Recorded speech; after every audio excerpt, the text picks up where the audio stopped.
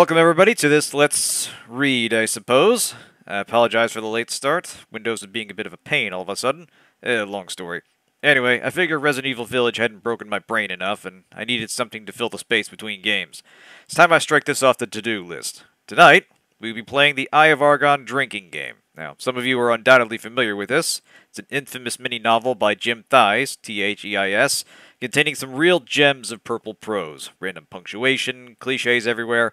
Suffice to say, it has a reputation of being one of the worst fantasy stories of all time.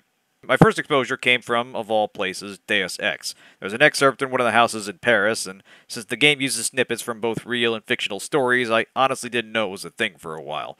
What sold it for me was Yahtzee Croshaw and Gabe Morton doing a reading and trying not to crack up. That cemented a need to try this myself, and though I have attempted this once before, I promise you that is not the protection it otherwise might be. Especially because I went through one drink already trying to sort out the Windows stuff. I figure that's a fair handicap. Uh, I'm afraid not. I am not actually familiar with those books.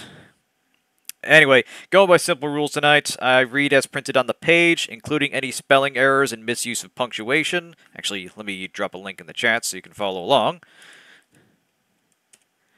There we are. So yeah, I read as printed on the page, and every time I laugh, I drink. Every time I stumble, I drink. That's every time my mind tries to autocorrect. And you might be thinking, is this secretly an attempt to kill myself by liver poisoning? To which I reply, eh, probably. But I'll try to make it entertaining to the point where I pass to the point where I pass out. Thus ends my prepared remarks. So, without further ado, we begin. Oh, okay, okay. Yeah, I hadn't heard of that, but uh, that sounds pretty wild. anyway, uh, let's go back over here. One sip to start us off. now we begin. The weather-beaten trail wound ahead into the dust-racked climbs of the barren land which dominates large portions of the Norgolian Empire. Age-worn hoofprints smothered by the sifting sands of time shone dully against the dust-splattered crust of earth. The tireless sun cast its parching rays of ink. God damn it, I'm already starting. This shit's ridiculous. Hang on a second. Mm. It builds up. There's just a lot here that just starts to stack and play tricks with your mind. The tireless sun cast its parching, parching rays of incandescence from overhead, halfway through its daily revolution. Small rodents scampered about, occupying themselves in the daily accomplishments of their dismal lives. Dust sprayed over three heaving mounts in, in blinding clouds, while they bore the burdensome cargoes of their struggling over their struggling overseers. Damn it!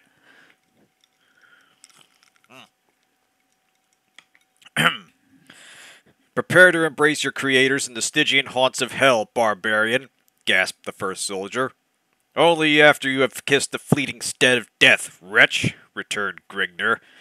A sweeping blade of flashing steel riveted from the massive barbarian's hide enameled shield as his rippling right arm thrust forth, sending a steel shod blade to the hilt into the soldier's vital organs. The disemboweled mercenary crumpled from his saddle and sank to the clouded sward that's S W A R D, sprinkling the parched dust with crimson droplets of escaping life fluid.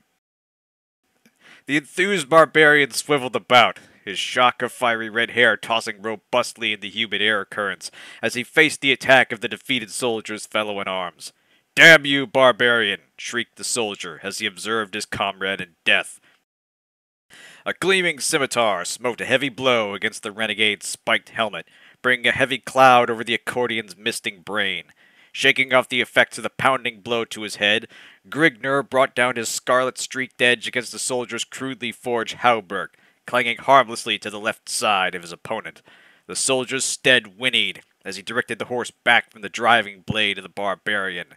Grignr leashed his mount forward as the hoarsely piercing battle cry of his wilderness bred race resounded from his. Damn it!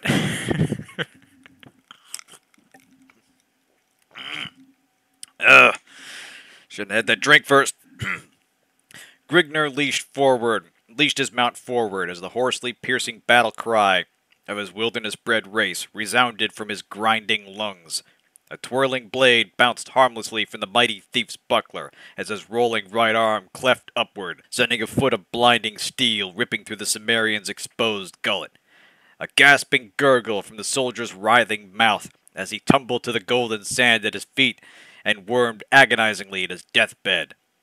Grignr's emerald green orbs glared lustfully. Fuck. Ugh. Lustfully always get me, man. Oh, man.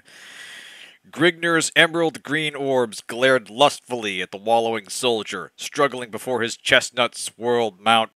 His scowling voice reverberated over the dying form in a tone of mocking mirth. You city bred dogs should learn not to antagonize your better. Reining his weary mount ahead, Grignr, small g, resumed his journey to the Norgoldian city of Gorzam, hoping to discover wine, women, and adventure to boil the wild blood coursing through his savage veins. I'll be careful, don't worry. The trek to Gorzam was forced upon Grignr when the soldiers of Krynn were. Damn it. I'm still stuck on Lustfully. Son of a bitch. Oh, this is going to be rough.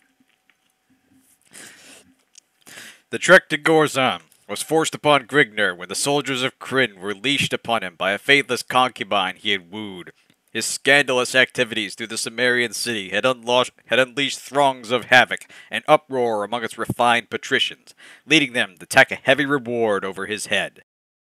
He had barely managed to escape through the back entrance of the inn he had been guzzling in, as a squad of soldiers pounced upon him. That's uh, T O U N C E D. I'm going to assume that's pounced. After spilling a spout of blood from the leader of the mercenaries as he dismembered one of the officer's arms, were they soldiers or mercenaries? He retreated to his mount to make his way towards Gorzam, rumored to contain hordes of plunder, and many young wenches for any man who has the backbone to wrest them away. Chapter 2 Arriving after dusk in Gorzam, Small G Grignr again. Grignr descended down a dismal alley, reining his horse before a beaten tavern. The red-headed, gi- the red-haired giant strode into the dimly lit hostelry, reeking of foul odors and cheap wine.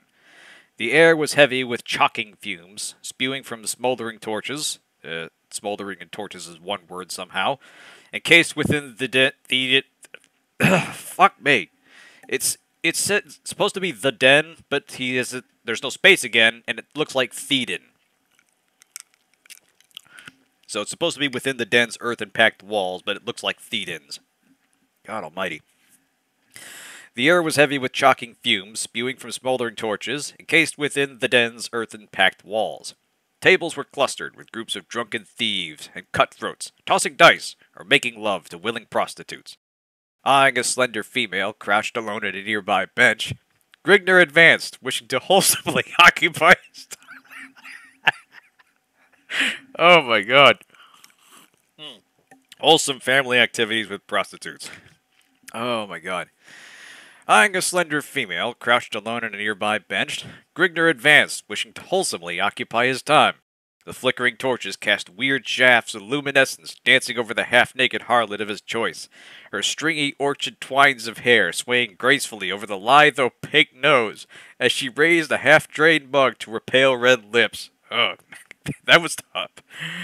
You know, I'm going to take a drink anyway. I almost lost it there.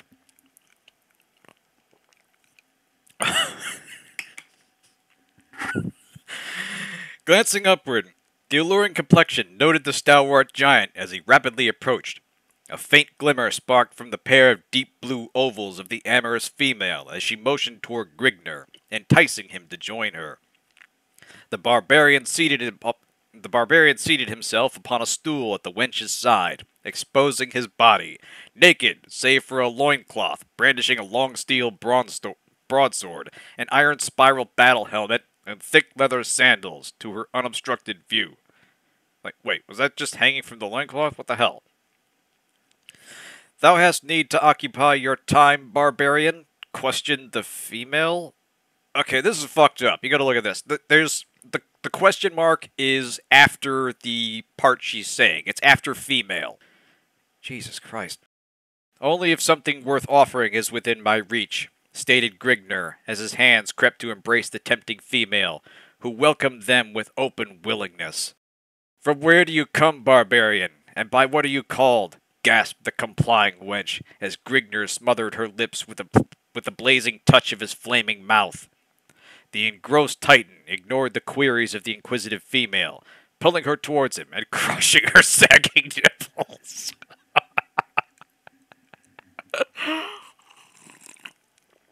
oh my god. Sagging nipples. Sorry, that got me. Oh my god. The engrossed Titan ignored the queries of the inquisitive female, pulling her towards him and crushing her sagging nipples to his yearning chest. Without struggle, she gave in, winding her soft arms round the harshly bronzed hide bronzed hide is one word of Grignr corded shoulder blades, as his calloused hands caressed her firm, protruding busts. You make love well, wench, admitted Grignr, as he reached for the vessel of potent wine his charge had been quaffing. A flying foot caught the mug Grignr had taken hold of, sending its blood red contents sloshing over a flickering crescent, leashing tongues of bright orange flame to the foot trodden floor. oh. Oh my god. I mean, what else would be on the floor, really? Leashing tongues of bright orange flame to the foot trodden floor. Remove yourself, sirrah. The wench belongs to me, blabbered a drunken soldier, too far consumed by the influences of his virile brew.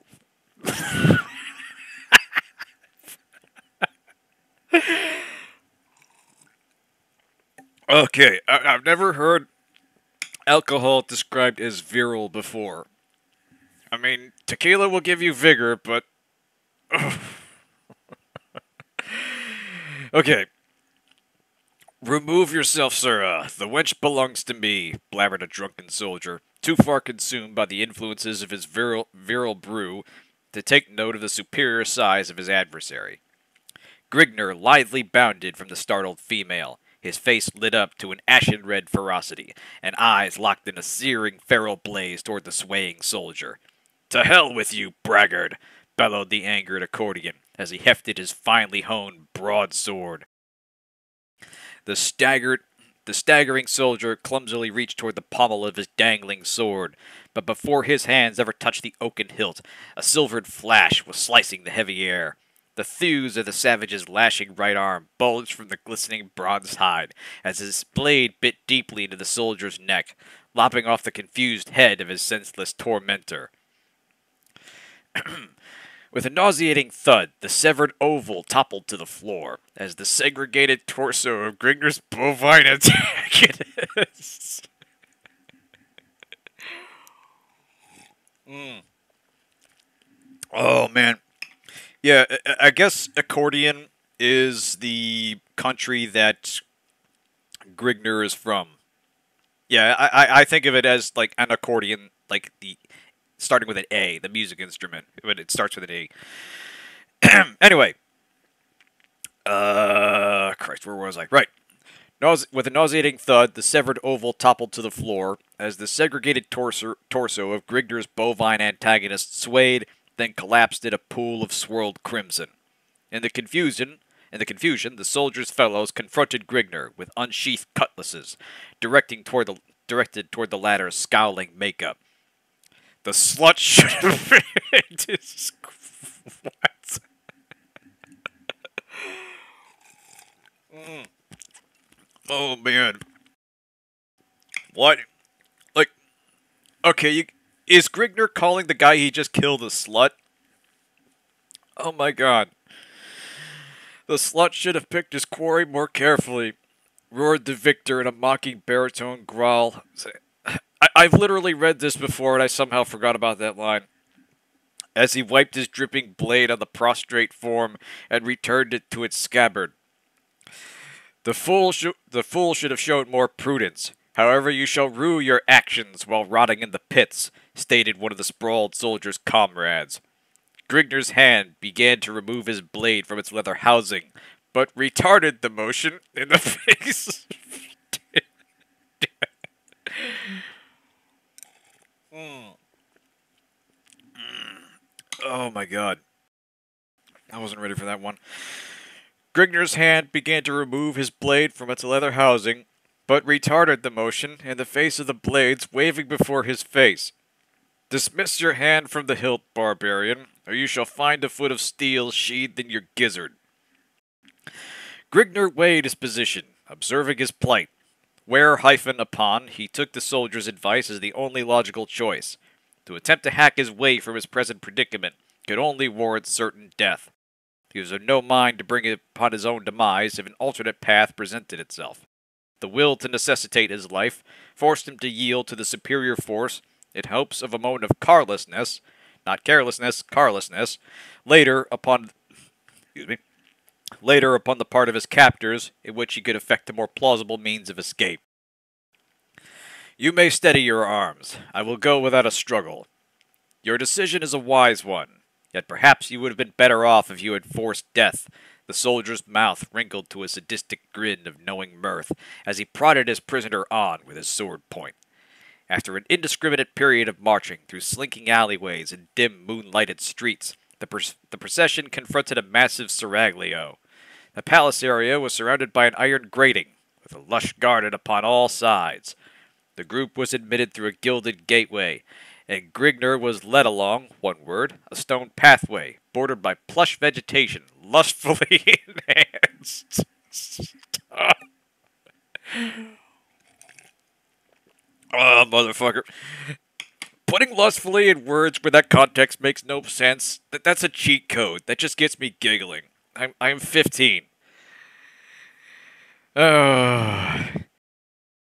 uh, where was I? Right. The, the group was admitted through the Gilded Gateway, and Grignr was led along a stone pathway, bordered by plush vegetation, lustfully enhanced by the moon's shimmering rays. Upon reaching the palace, the groom was granted entrance, and after several minutes of explanation, led through several winding corridors to a richly draped chamber.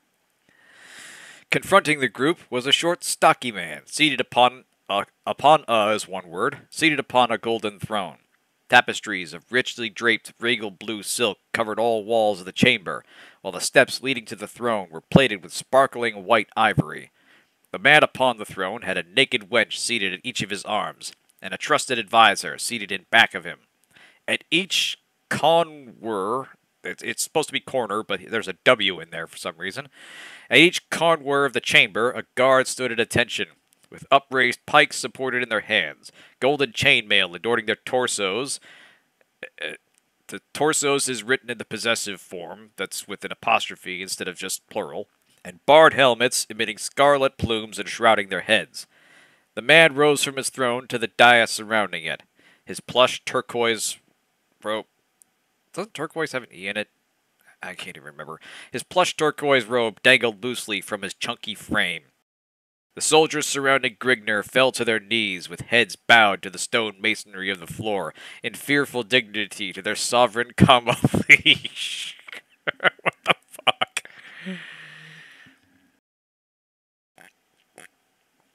Oh, to their sovereign comma liege. What the hell? The soldiers surrounding Grignr fell to their knees, with heads bowed to the stone masonry of the floor, in fearful dignity to their sovereign liege. Explain the purpose of this intrusion upon my chateau.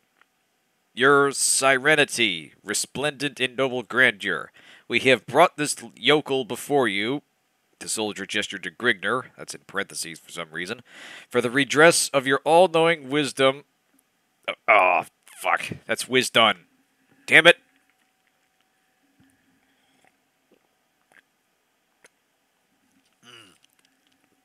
Oh.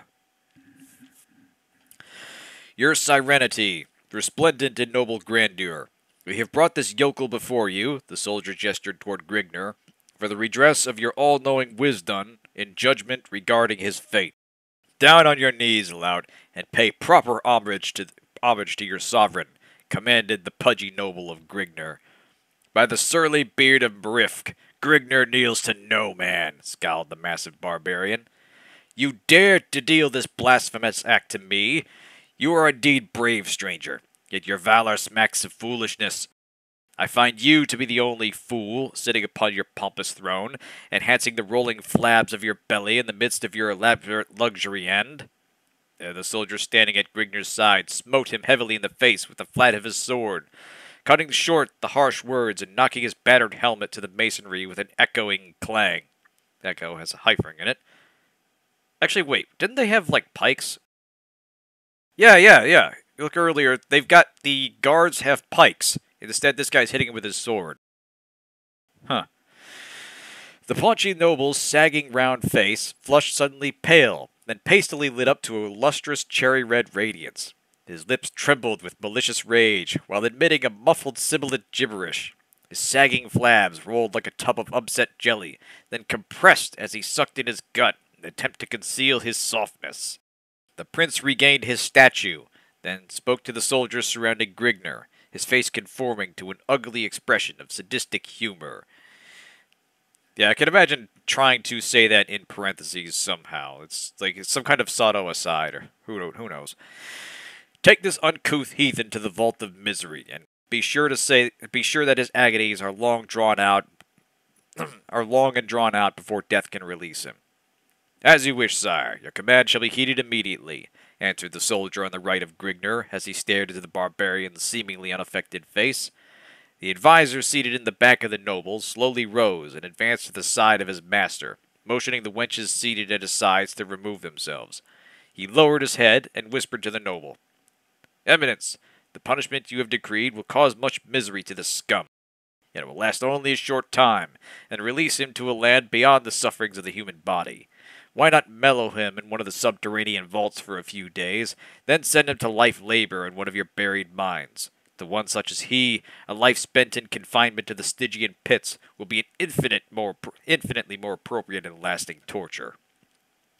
The noble cupped his drooping double chin in the folds of his briming palm, meditating for a moment upon the rationality of the counselor's words, then raised his shaggy brown eyebrows and turned toward the adviser, eyes aglow.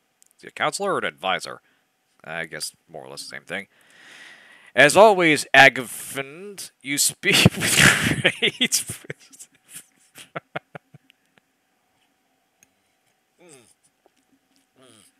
I think you forgot a vowel there, Jim. Like Agafnd. A G A F N D. I have no idea how to pronounce that. Oh shit, did I miss one? Hang on a second. Uh punishment. Ah, oh, fuck. I did. oh, good catch, miss. All right, that's another drink. Mm. Oh boy. Punishment. As always, Agafnd, you speak with great wisdom. Your words ring of great knowledge concerning the nature of one such as he, saith the king, comma there for some reason. The noble turned toward the prisoner with a noticeable, sh- shimmer reflecting in his frog-like eyes, and his lips contorting to a greasy grin. I have decided to void my previous decree. The prisoner shall be removed to one of the palace's underground vaults, there he shall stay until I've decided he is sufficiently simmered. Whereupon, he is to be allowed to spend the remainder of his days at labor in one of my mines. Upon hearing this, Grignr realized that his fate would be far less merciful than death to one such as he, who was used to roaming the countryside at will. A life of confinement would be more than his body and mind could stand up to. This type of life would be immeasurably worse than death. You're kind of belaboring the point here, man. I shall never understand the ways if your twisted civilization. I simply defend my honor and condemned to life confinement by a pig who sits on his royal ass, wooing whores, and knows nothing of the lands of the affairs of the land he imagines to rule. Lectures Grignr.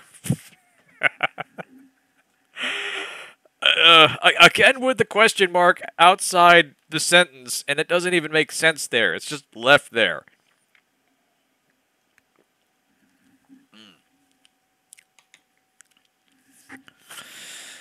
Enough of this. Away with the slut before I lose my control. Oh, God, I almost lost it there. Seeing the peril of his position, Grignr searched for an opening. Crushing Prudence to the sward, he plowed into the soldier at his left arm, taking hold of his sword, and bounding to the dais supporting the prince before the startled guards could regain their composure. Agafnd leaped Grignr and his sire, but found a sword blade permeating the length of his ribs before he could loose his weapon. The counselor slumped to his knees as Grignr slid his crimson blade from Agfnd's rib cage. All right, now, Now we're just typoing the guy's name that probably wasn't spelled right in the first place. That's AGFND. God almighty. I don't know. He's kind of using like the terms interchangeably. I, like there's some serious thesaurus abuse going on here.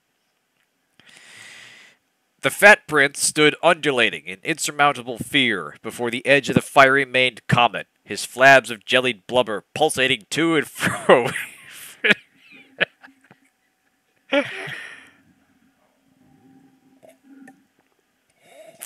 to and fro in ripples of flowing terror. Terror. Okay, finish my drink. Give me just a minute.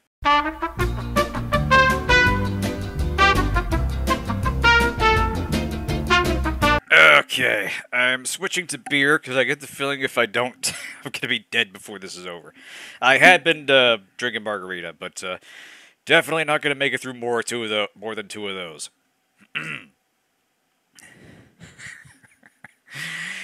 yeah, the chapter naming scheme this is weird. Like he's using words just randomly. I have no idea why he's calling Grignr a slut. There's got to be some kind of archaic use that I'm not familiar with. I don't know. We're, this is a weird and fascinating glimpse into the mind of a guy that was probably like 16 when he wrote this or whatever. I, I think it dates back to the late 70s. I'll look it up. Anyway, uh, where was I at? Um, right, here we go. The fat prince stood, undulating in insurmountable fear before the edge of the fiery maned comet his flabs of jellied blubber pulsating to and fro in ripples of flowing terror.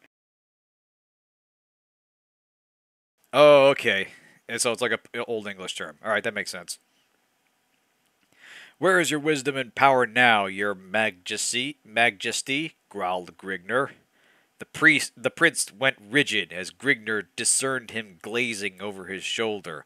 His he sliveled, slived, S W L I V E D, to note the cause of the noble's attention, raising his sword over his head, and prepared to leash a vicious downward cleft, but fell short as the haft of a steel-ribed pike clashed against his unguarded skull. Hey, we're back to pikes again. Then blackness and solitude, silence and shrouding, and ever peaceful reigned supreme. That's R E I N D. I don't even know if that's the right word there, but alright. Before me, sirrah, before me as always. Ha ha ha ha! Nobly cackled. Chapter 3. Oh, what's this? Josh Hauser gets credit for being one of the first to put a print. Sloppy male character. Okay, I suppose that's fair. Okay, so he was 17 when he wrote this. Yeah, alright, so it's... You know what? I wrote some embarrassing fan fiction in my time, some back of it in my teens, some of it much later. I like to think that the standard for that was a little higher than this. Like, we are. There are layers to how bad this is. This takes effort. Chapter 3 Consciousness returned to Grignr in stigmatic pools, as his mind gradually cleared of the cobwebs cluttering its inner recesses. Yet the Stygian cloud of charcoal ebony remained, an incompatible shield of blackness, enhanced by the bleak absence of sound. Grignr's muddled, muddled brain reeled from the shock of the blow he had received to the base of his skull. The events leading to his predicament were slow to filter back to him.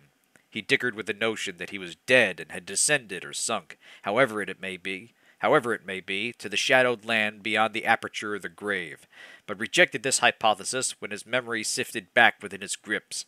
This was not the land of the dead. It was something infinitely more precarious than anything the grave could offer. Death promised an infin- Death promised an infinity of peace, not the finite misery of an inactive life of confined torture, forever concealed from the life-bearing shafts of the rising sun. The orb that had been taken for granted, yet now cherished above all else, to be forever refused further glimpses of the snow-capped summits of the land of his birth, never again to witness the thrill of plundering unexplored lands beyond the crest of a bleeding horizon, and perhaps worst of all, the denial to ever again encompass the lustful excitement of caressing the naked curves of a body of a trim young wench.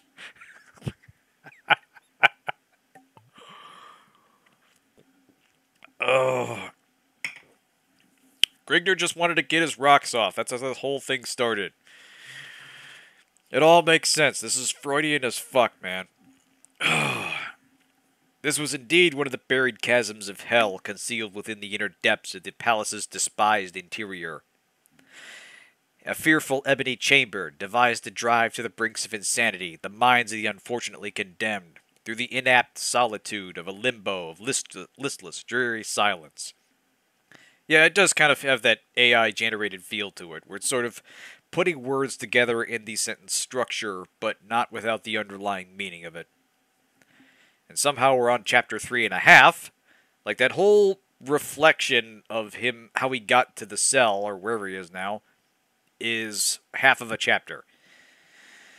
Chapter three and a half. A tightly rung elliptical circle of or torches cast their wavering shafts prancing morbidly over the smooth surface of a rectangular ridged altar. I think they meant altar A L T A R, but it's spelled A L T E R. Expertly chiseled forms of grotesque gargoyles graced the oblique rim protuberating the length of the grim orifice of death, staring forever ahead into the nothingness in complete ignorance of the bloody rites enacted in their presence. Brown flaking stains decorated the golden surface of the ridge surrounding the altar, which banked to a small slit at the lower right hand corner of the altar. Okay, same sentence, he uses alter, A L T E R, and then alter, A L T A R. That's kind of impressive. That This dude was writing by the seat of his pants here. The slit stood above a crudely pounded pail, which had several silver mesh mesh chalices hanging at its sides. Dangling at the rim of, uh, one word, rim of, dangling at the rim of golden mallet, the handle of which was engraved with images of twisting faces, and groved at its far end with slots designed for a snug hand grip. The head of the mallet was slightly larger than a clenched fist.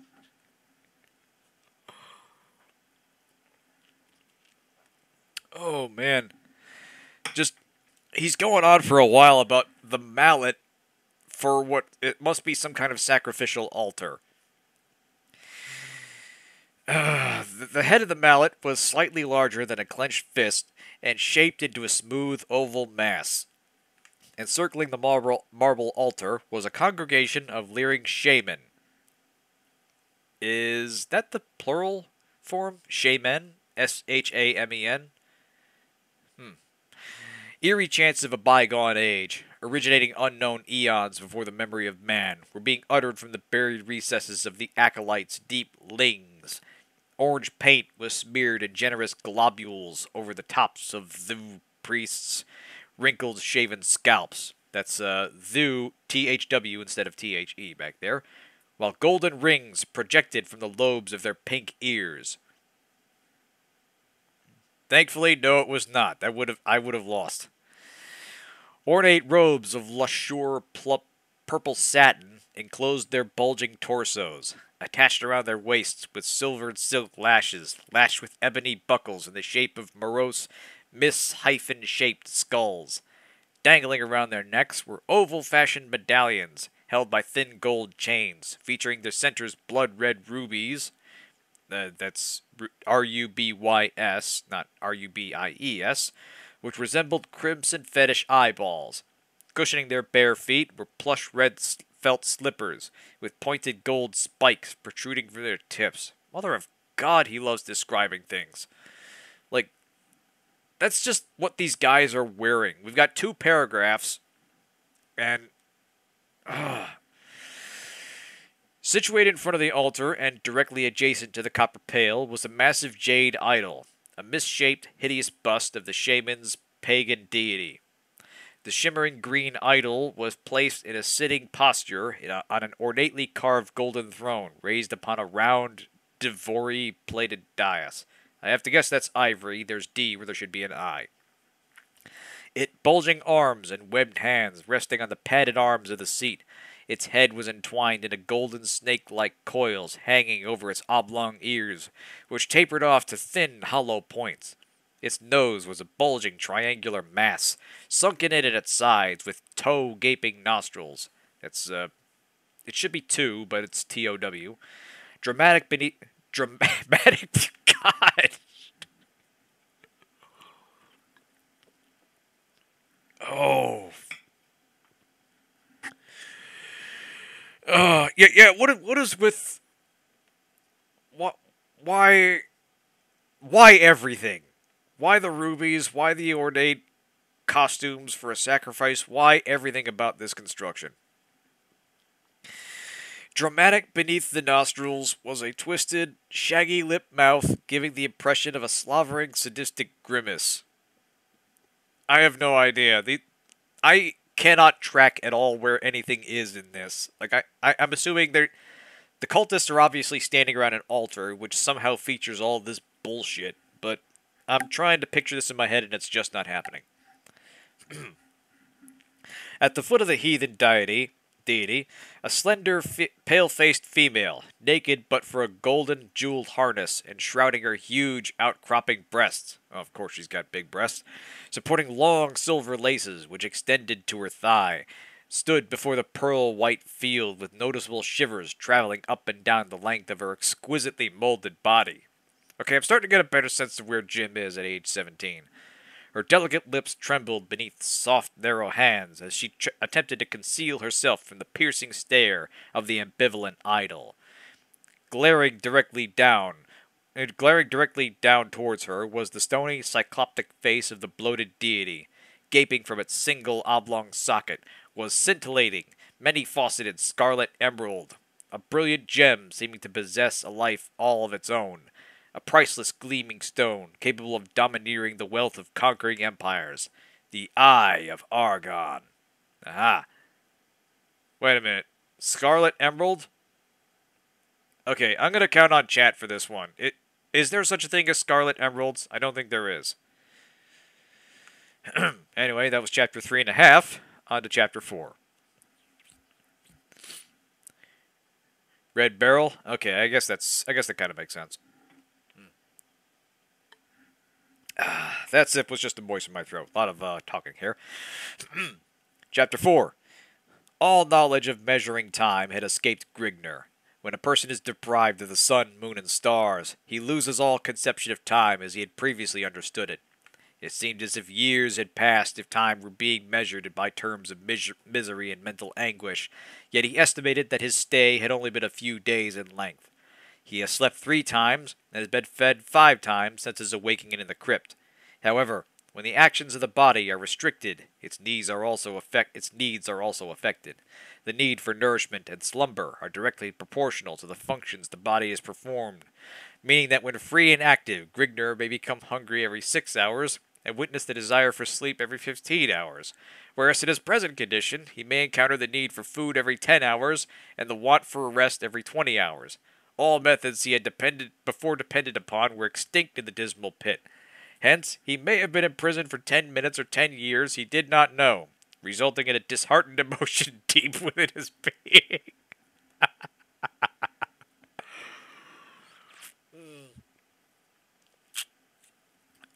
oh, okay, that was a whole paragraph about him trying to mark time while in prison.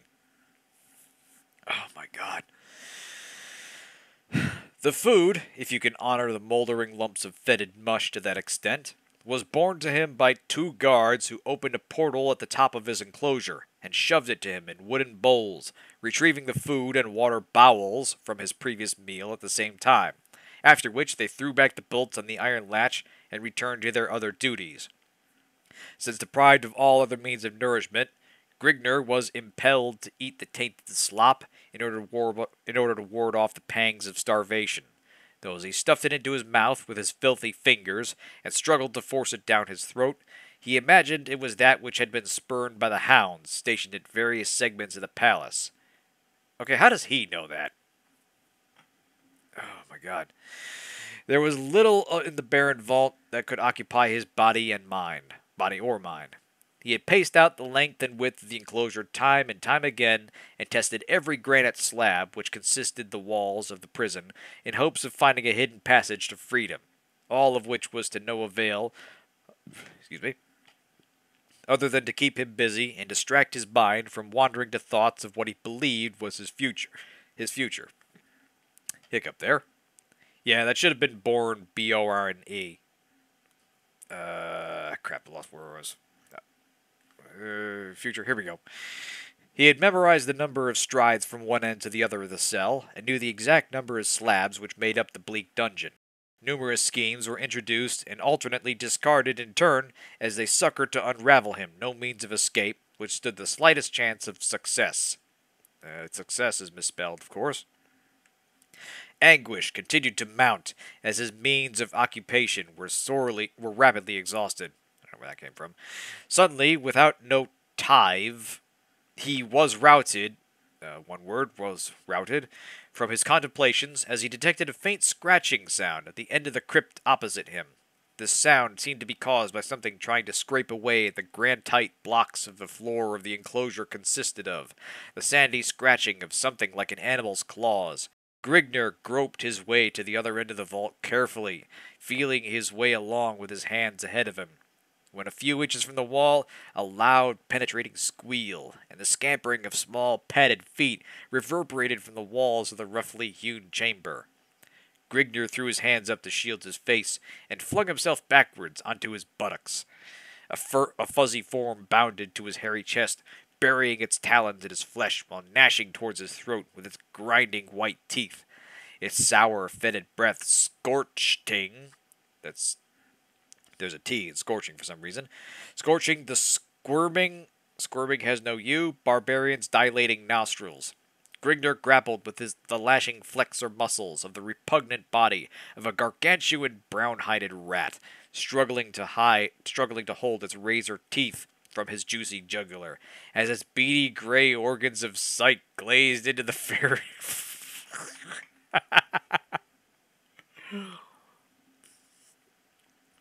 oh. Yeah, yeah. This, th- th- there's so much just so much of this wouldn't withstand even a cursory proofreading. Uh, right. Grignr grappled with the lashing flexor muscles of the repugnant body of a gargantuan brown-hided rat, struggling to hold its razor teeth from his juicy jugular, as its beady, beady gray organs of sight glazed into the fire, flaring emeralds of its prey. Yeah, it, organs of sight got me. Just say eyes, man. Yeah.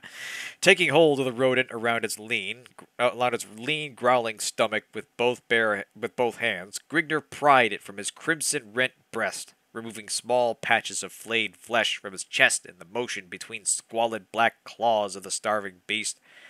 Holding the rodent at arm's length, he cupped his right hand over its frothing face, constricting his fingers into a vice-like fist over the quivering head.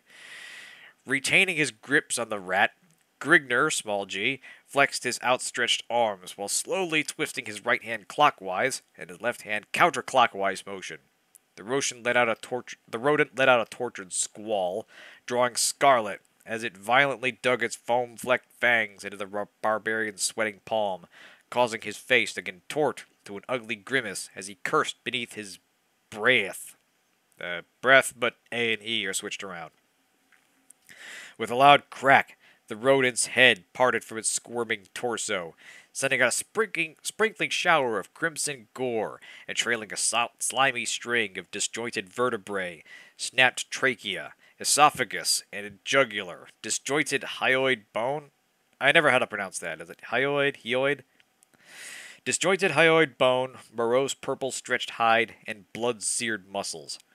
Flinging the broken body to the floor, Grignr shook his blood-streaked hands and wiped them against his thigh until dry, then wiped the blood that had showered his face and from his eyes. Ah, okay, so it's hyoid. Gotcha, thanks. Again, setting himself upon the jagged floor, he prepared once more to revamp his claw meditations. Oh my god. So, a rat breaks into his cell, he breaks his neck, it claws him up, and he just sits down and gets back to thinking his way out. This is a goal-oriented man, I tell you what.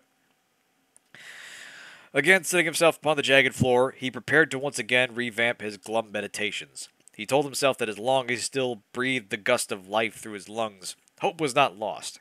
He told himself this, but found it hard to comprehend in his gloomy surroundings. Yet he was still alive, his bulging sinews at the peak of marvel, his struggling mind floating in a mir- miral, miral.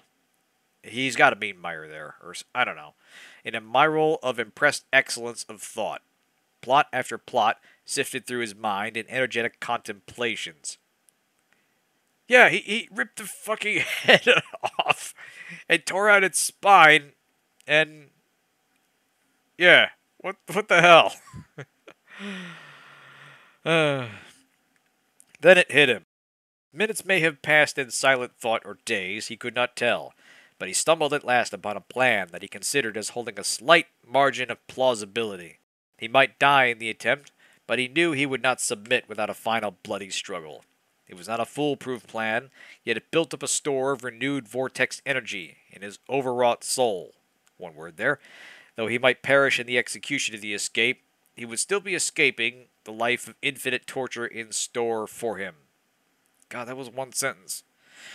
Either way, he would still cheat the gloating prince of the succored revenge his sadistic mind craved so dearly. The guards would soon come to bear him off to the prince's buried mines of dread, giving him the sought after opportunity to execute his newly formulated plan. Groping his way along the rough floor, he really loves groping here, Grignr finally found his tool in a pool of congealed gore, the carcass of the decapitated rodent, the tool that the very filth he had been sentenced to spawned. When the time came for action, he would have to be prepared, so he set himself to rending, rending the sticky hulk in grim silence, searching by touch of his by the touch of his fingertips for the lever to freedom. Chapter five. Up to the altar and be done with it, wench, ordered a fidgeting shaman, as he gave the female a grim stare, accompanied by the wrinkling of his lips to a mirthful grin of delight. yeah, you're right. I'm surprised that hasn't been used yet. This this language is horny as hell, man.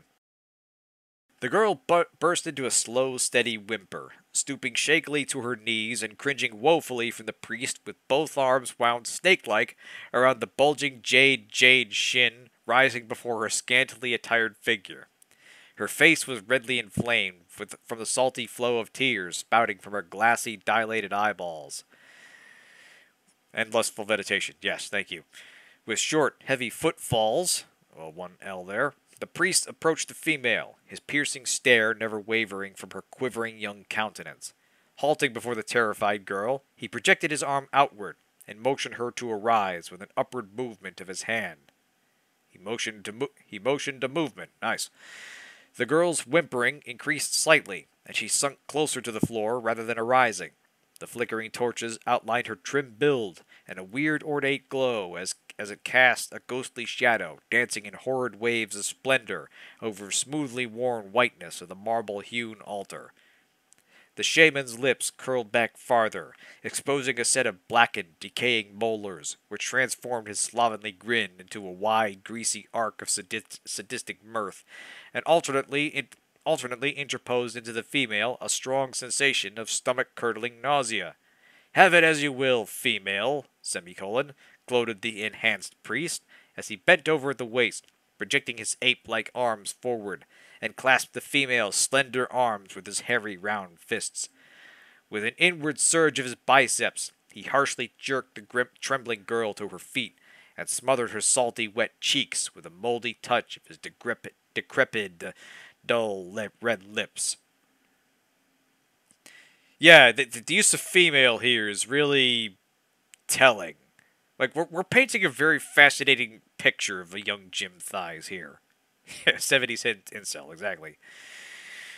The vile stench of the shaman, capital S's hot, fetid breath, overcame, one word, the nauseated female with a deep, soul-searing sickness, causing her to wrench her head backwards and regurgitate a slimy, orange-white stream of swelling gore.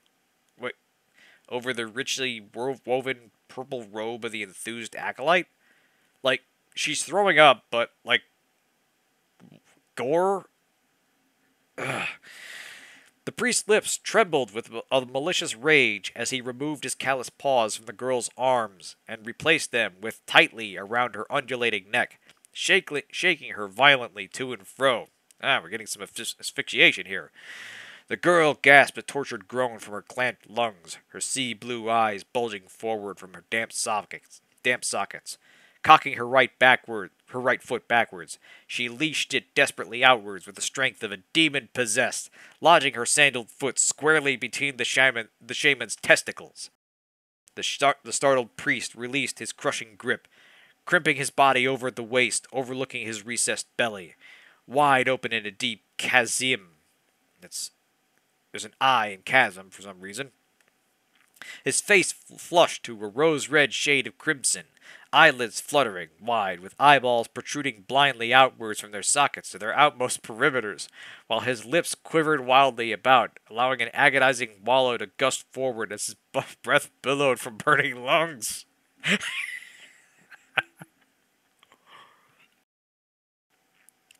oh, man. That just stacked up, man. God almighty. Yeah, we're getting into some CBT here now. This thing caters to everybody. His hands reached out, clutching his urinary.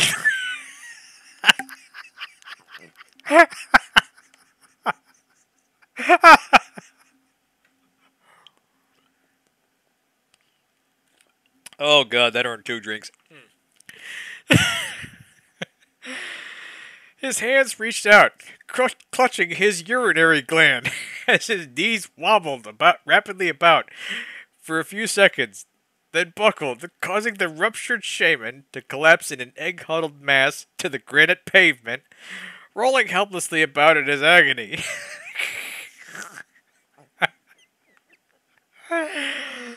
oh god. Yeah, th th there's so much here. She kicks him in the balls, and that's his urinary gland, and...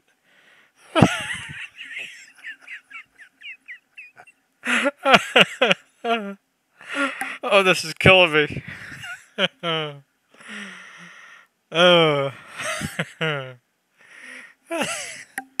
oh. I have to assume. I have to assume a young Jim Theis assumed that the testicles contained both. It, it somehow contained the bladder. I don't know. I just I mean, this is the 70s. Google doesn't exist. The internet barely exists for commercial for consumer use. Oh, yeah. He thought peas stored in the balls.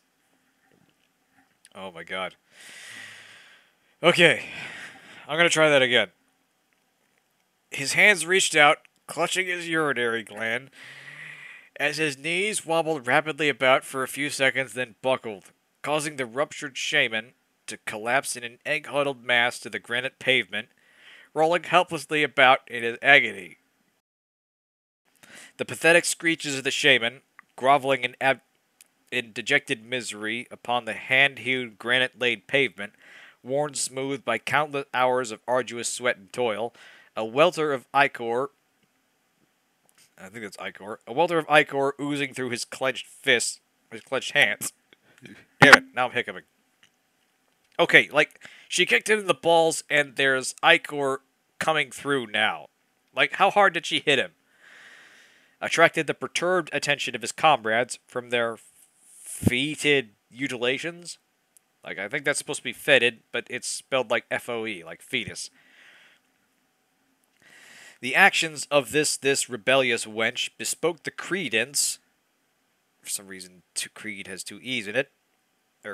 Like, Credence should have just two E's, this has three. Of an unheard of sacrilege. Never before in a lost maze of untold eons had a chosen one dared to demonstrate such blasphemy in the face of the cult's idolic deity. The cult, the girl co cowered in unreasoning terror, helpless in the face of the emblazoned acolyte's rage her orchid tousled face smothered betwixt her bulging bosom as she shut her curly la curled lash tightly hoping.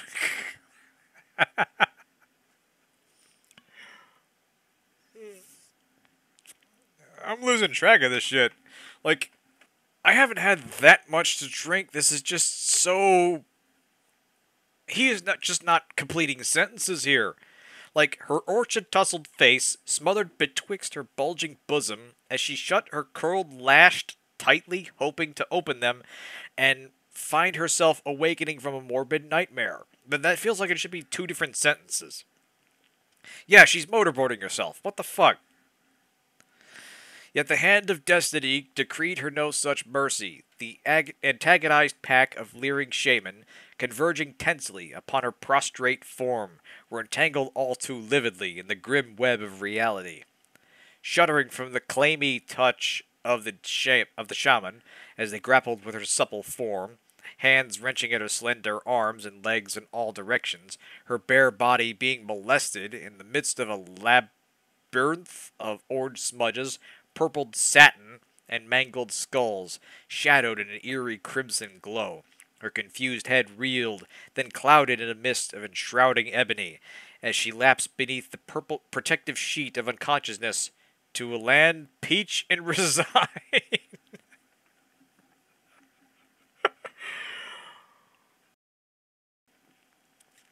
Oh, to a land patient resign. I don't know what that means. Like, is she just okay? She she's in the midst of these guys, and she just passes out, and like, just keep kicking them the balls. You literally exploded that one dude's balls. Oh, everything about this is a fucking journey. Yeah, exactly. She's the president of the United States. Millions of peaches, baby. 6. Chapter 6. Take hold of this rope, said the first soldier, and climb out from your pit, slut. Uh, we're back to calling Grignr a slut now. Your presence is requested in another far deeper hell hole.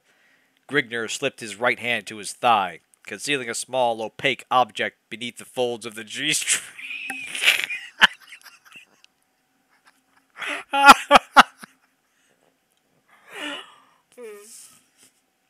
oh god, he's describing a loincloth as a G string. oh, uh, I'm losing it. We're only halfway through this bullshit, folks. It's gonna get worse.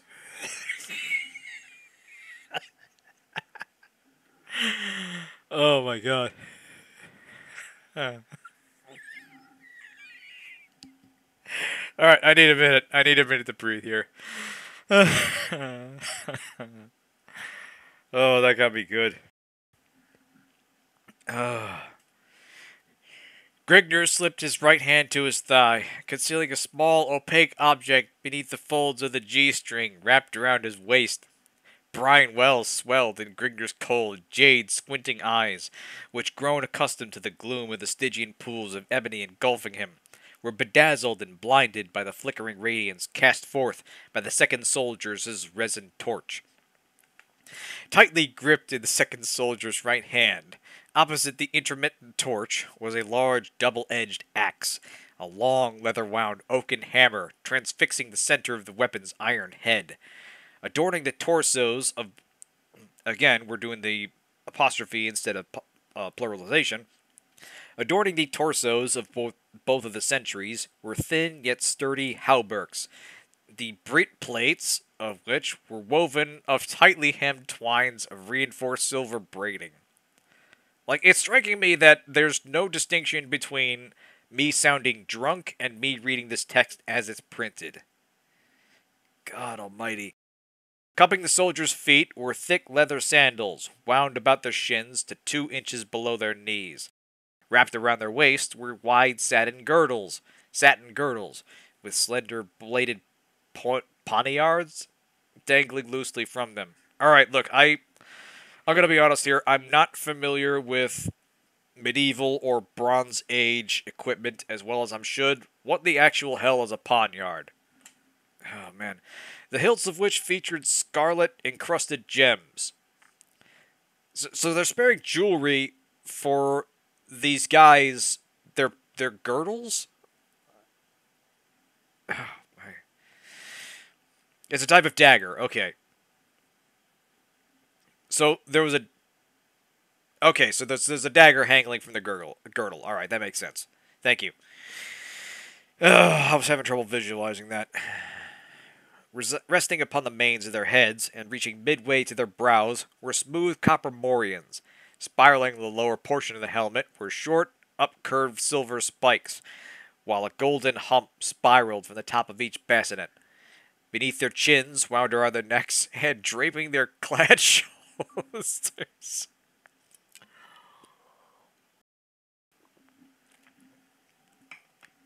Again, there's there's so much description just for a guy's outfit, and it's so ornate. There's jewels on everything. It's oh. Beneath their chins, wound around their necks, and draping their clad shoulders, dangled regal purple satin cloaks, which floated midway to the soldiers' feet. Like, we're spending a lot of jewelry and purple and expensive materials on prison guards. Hand over hand, feet braced against the dank walls of the enclosure, huge Grignr ascended from the moldering depths of the forlorn abyss. His swelled limbs, stiff due to the boredom of a timeless activity inactivity, compounded by the musty atmosphere and jagged granite protuberance against his body, craved for action. The opportunity now presenting itself served the purpose of oiling his rusty joints and his honing his dulled senses. He braced himself, facing the second soldier. The sentry's stature was was wildly. That's two wases. The sentry's stature. Uh, you know what? That's a drink. I stumbled there.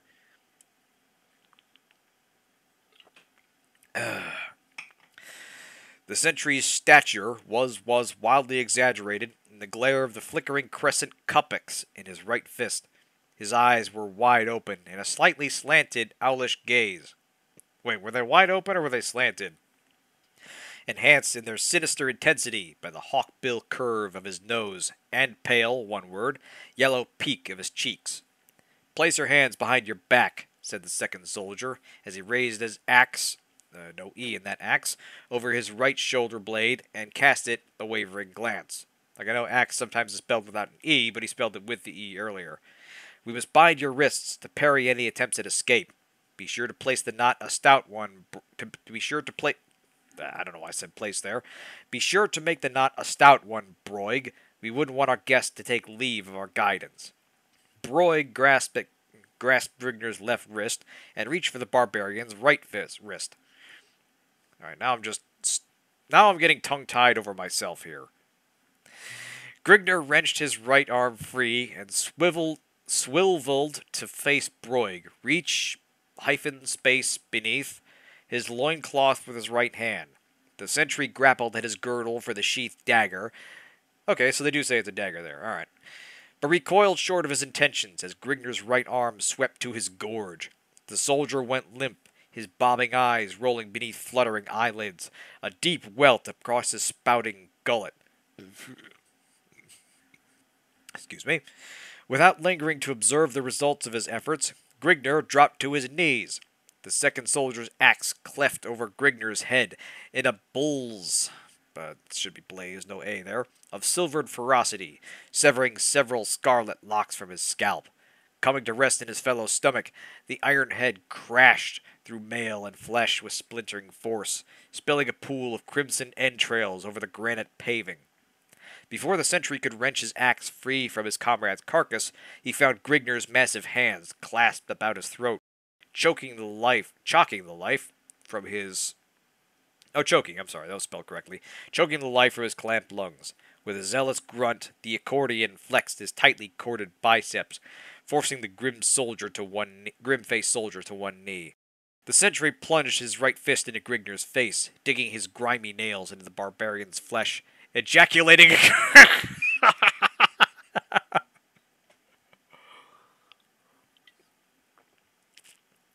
oh.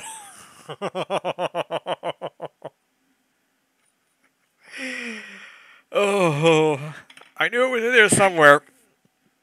Using ejaculating as shouting. Oh my god. Yeah, and the guard like hit his friend with his axe after Grignr apparently like hit him in the throat or something. Oh man. Ejaculating a curse through rasping teeth, Small G Grignr surged the bulk of his weight forward, bowling the besieged soldier over on his back. The sentry's arms collapsed to his thigh, shuddering convulsively, his bulging eyes staring blindly from a bloated, cherry red face. Rising to his feet, Grignr shook the blood from his eyes, ruffling his surly red mane as a brush fire swaying to a night to the nighttime breeze. Okay, that's just an analogy there. Stopping over the spur sprawled corpse of the first soldier. Okay, I think I'm getting a sense of what's happening here. Jim Theis, he's typing he, he's typing this up in the 70s. He's probably literally doing this on the typewriter and like it they they don't really have backspace figured out yet. Like it, it, he probably just has to like figure he'll edit it later. Like he's probably physically typing this out on paper is what I think is happening here. Stooping over the spur sprawled corpse of the first soldier, Grignr retrieved a small white object from a pool of congealing gore.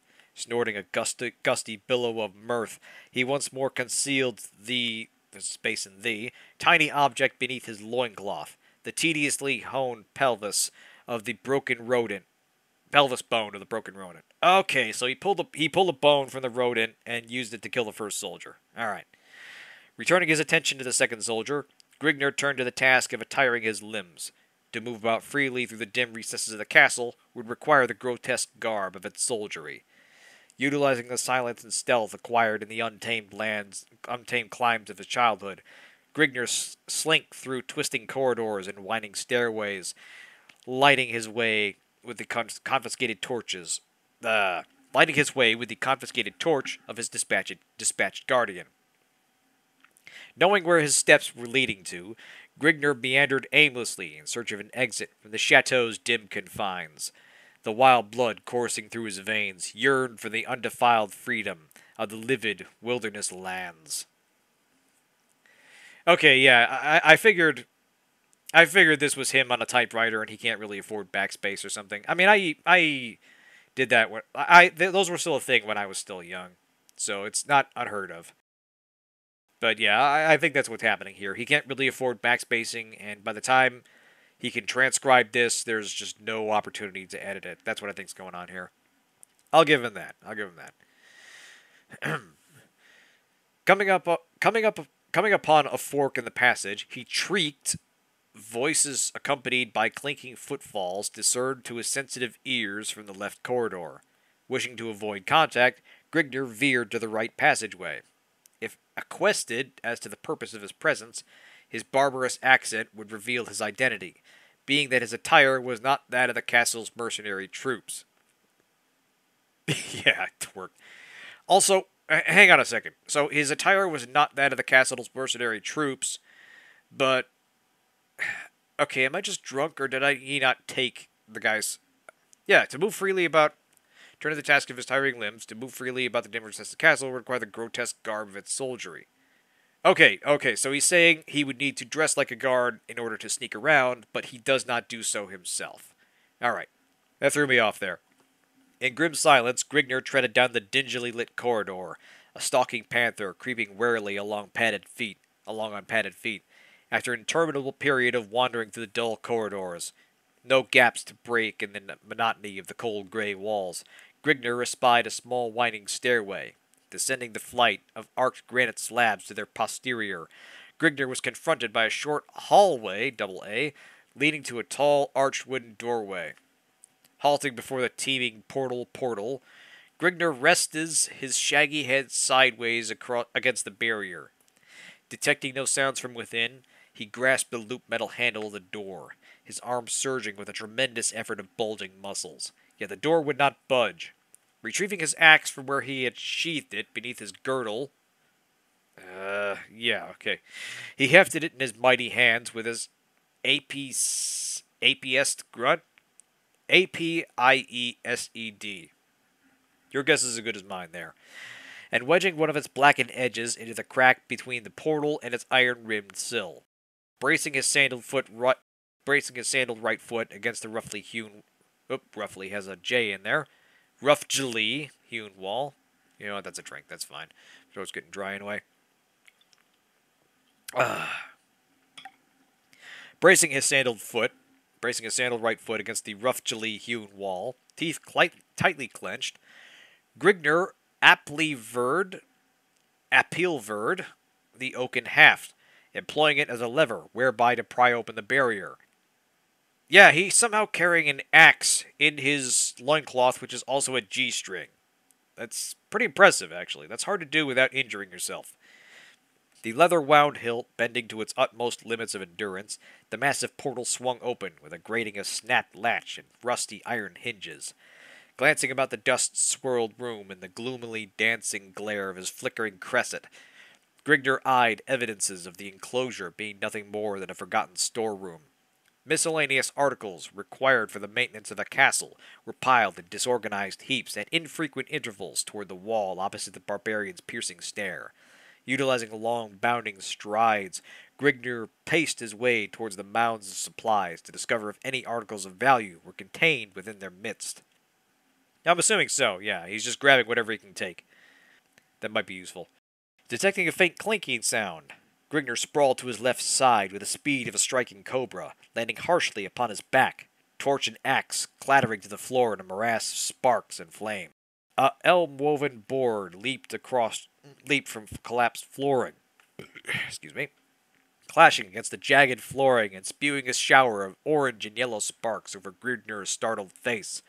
Rising uneasily to his feet, the half-stunned Ecordian glared down at the gruesome arm of death he had unwittingly sprung. Brifk! That's an exclamation of his. Yep, quite possibly, yeah. You know, you, you gotta put it somewhere. If not for his keen auditory organs and lightning steel reflexes, Grignr would have been groping through the shadowed hell pits of the Grim Reaper.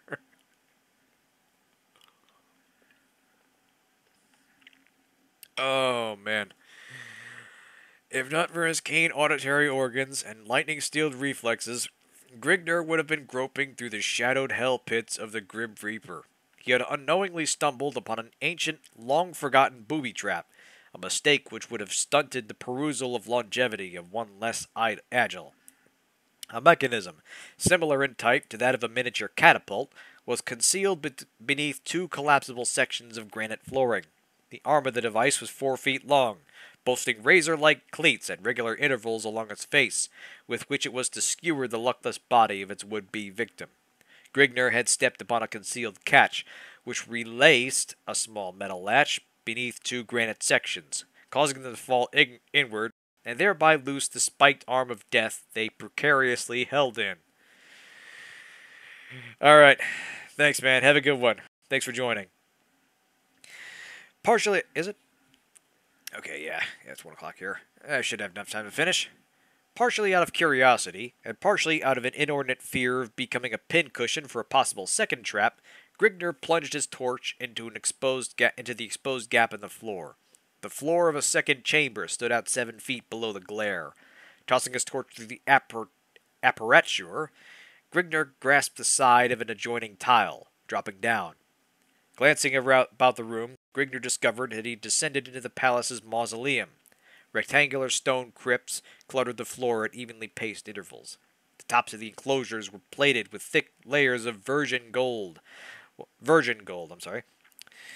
While the sides were plated with white ivory, at one time sparkling, but now grown dingy through the passage of the rays of all all-encompassing oh, mother of God, all-encompassing mother time featuring at the head of each sarcoph- featured at the head of each sarcophagus in tarnished silver was an expugnificent expugnificively all right that's a drink.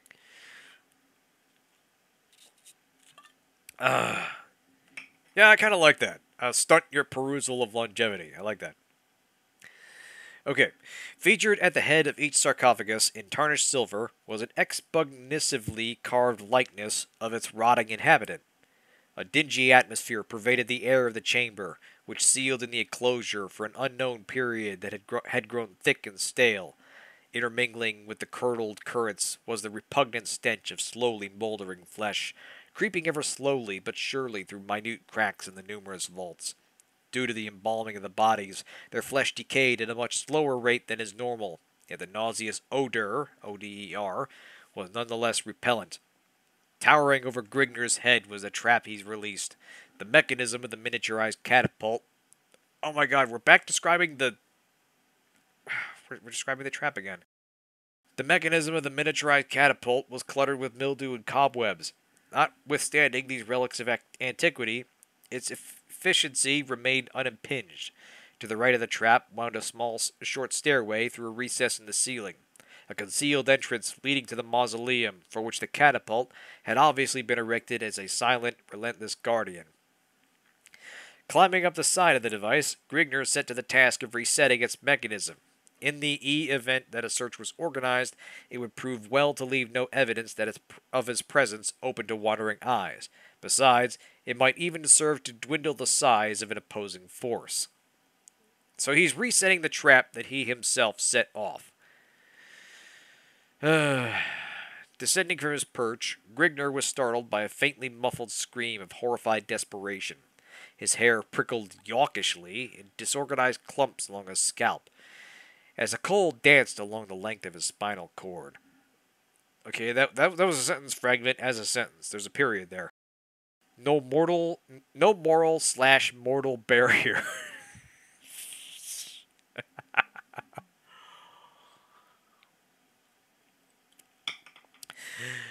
no moral slash mortal barrier, human or otherwise, was capable of arousing the numbing sensation of fear inside of Grignr's smoldering soul.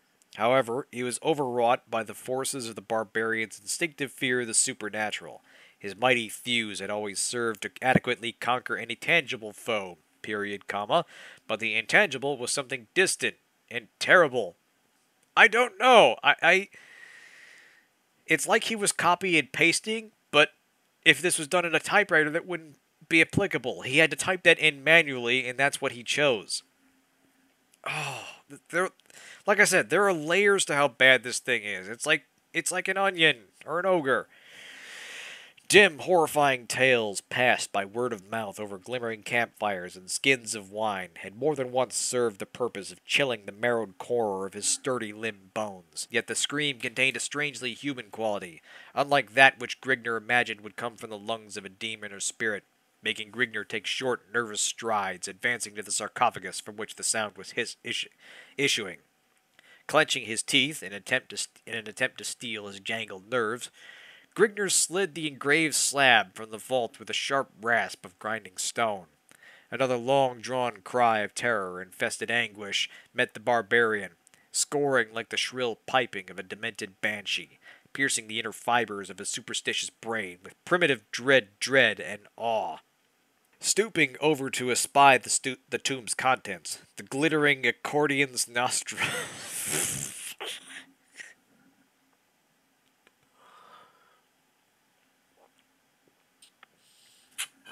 Oh man, I don't. I'm sorry. Glittering Ecordians. That gave me the impression my mind went straight to Twilight, and now I'm stuck of thinking Grignr is some kind of barbarian vampire. The glittering Ecordian's nostrils were singed by the scorching aroma of a molding corpse, long shut up and fermenting. The same putrid scent which permeated the entire chamber, though multiplied to a much more concentrated dosage. The shriveled, leathery packet of crumbling bones and dried, flacking flesh offered no resistance, but remained in a fixed position of perpetual vigilance, watching over its dim abode from hollow, gaping sockets. The tortured cries, uh, C R Y S, were not coming from the tomb, but some hidden depth below. Pulling the reeking corpse, R E A K I N G, from its resting place, Grignr tossed it to the floor in a broken, mangled heap. Upon one side of the crypt's bottom was attached a series of tiny hinges, while running parallel along the opposite side of a convex railing-like protuberance, laid so as to appear as part of the interior surface of the sarcophagus. He's taking a long time to describe this thing. Look, whatever. Raising the slab upon its bronzed hinges, long removed from the gaze of human eyes, Grignr perceived a scene which caused his blood to smolder, not unlike bubbling molten lava. Directly below him, a whimpering female. Again, we're describing a woman as female. Directly below him, a whimpering female lay stretched upon a smooth surfaced marble altar.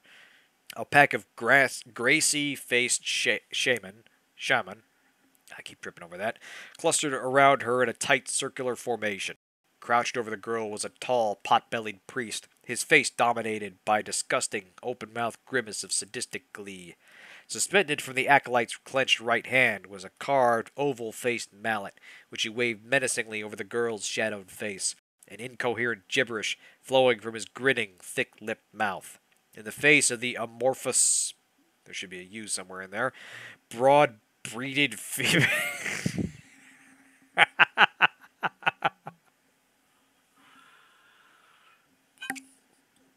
Ah, oh, broad breeded female. okay, that's drink number two. Time for a break.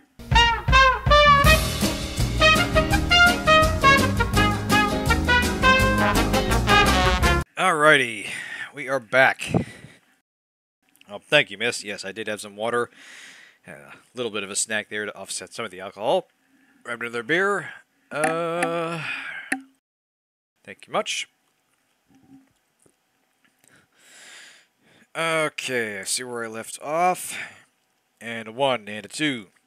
In the face of the amorphous broad-breeded female, stretched out alluringly before his gaping eyes, the universal whim of nature filing a plea of despair inside of his white-hot soul. Alright, we got two uses of the semicolon in the same sentence. Grignr acted in the only manner he could perceive. Giving vent to a hoarse, throat-rending battle cry, Grignr plunged into the midst of the startled shaman, torch simmering in his left hand, and axe, one word, twirling in his right hand. A gaunt, skull faced priest standing at the far side of the altar, altar clutched desperately at his throat, coughing furiously in attempt to catch his breath. Lurching helplessly to and fro, the acolyte pitched headlong against the gleaming base of the massive jade idol, writhing agonizedly against the hideous image, foam flecking his chalk white lips, the priest struggled helplessly, the victim of an epileptic seizure.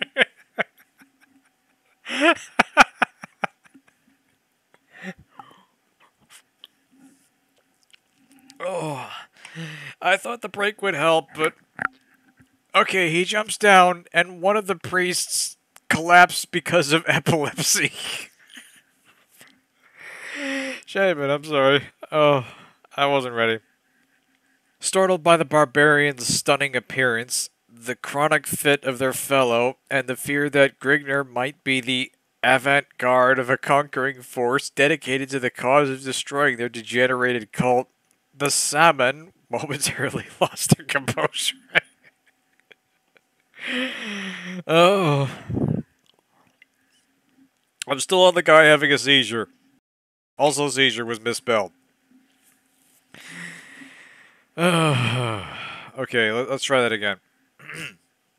Startled by the barbarian's stunning appearance, the chronic fit of their fellow, and the fear that Grignr might be the avant garde of a conquering force dedicated to the cause of destroying their degenerated cult, the Saman momentarily lost their composure. Giving vent to heedless pandemonium, the priests fell easy prey to Grig- Grignr's sweeping arc of crimson death and maiming destruction. The acolyte performing their sacrifice took a vicious blow to the stomach, hands clutching, clutching vitals and severed spinal cord as he sprawled over the altar. The disc-space organized priest lurched and staggered with split skulls, dismembered limbs, and spewing entrails before the enraged Ecordian's relentless onslaught. The howls of the maimed and dying reverberated against the walls of the tiny chamber, a chorus of hell fraught despair, as the granite floor ran red with blood the entire chamber was encompassed in the heat of raw, savage butchery. Is butchery even a word? Whatever, today it is. As Grignr luxuriated in the grips of a pr- primitive, beastly bloodlust. Presently, all went silent at, save for the ebbing groans of the sinking shaman and Grignr's heaving breath, accompanied by several gusty curses. The well had run dry. No more lambs remained for the slaughter. The rampaging stead of death, having taken Grignr for the moment, left the barbarian free to the exploitation of his other perusials. Towering over his head was the misshaped image of the cult's hideous deity, Argon. The fantastic size of the idol and consideration of its being of pure jade was enough to cause the senses of any man to stagger and reel. Yet thus was not the cause for the be- thus was not the case for the behemoth. Okay, butchery is a word. All right, thank you, eyes. He had paid only casual notice to this incredible fact. while riveting the whole riveting the whole of his attention upon the jewel protruding from the idol's soul socket, its masterfully cut faucets emerging. oh. Yeah. I mean, you know, you're having a sacrifice. You're having a sacrifice in the altar. You want to sink there to clean it out, get ready for the next one. its masterfully cut faucets emitting blinding rays of hypnotizing beauty. After all, a man cannot slink from a heavily guarded palace while burdened down by the intense bulk of a squatting statue, providing, of course, that the idol can even be hefted, which in fact was beyond the reach of Grignr's coursing stamina. On the other hand, the jewel, gigantic as it was, would not present a hindrance of any mean concern. Yeah, doesn't it, though? Hmm. Oh, man. Welcome back, Ivory. Help me, please. I can make it well worth your while, pleaded a soft, anguish strewn voice wafting over Grignr's shoulders as he plucked the dull red emerald. Hey, we're back to a red emerald now, from its roots. Turning, Grignr faced the female that had lured him into this bloodbath, but whom had become all but forgotten in the heat of the battle. You, semicolon, ejaculated. Damn it! Oh. Oh, God. I hate being 15 forever. That still fucking gets me. You, semicolon, ejaculated the Ecordian in a pleased tone. Yeah, I'll bet he did. I thought that I had seen the last of you at the tavern, but verily I was mistaken. Oh, shit.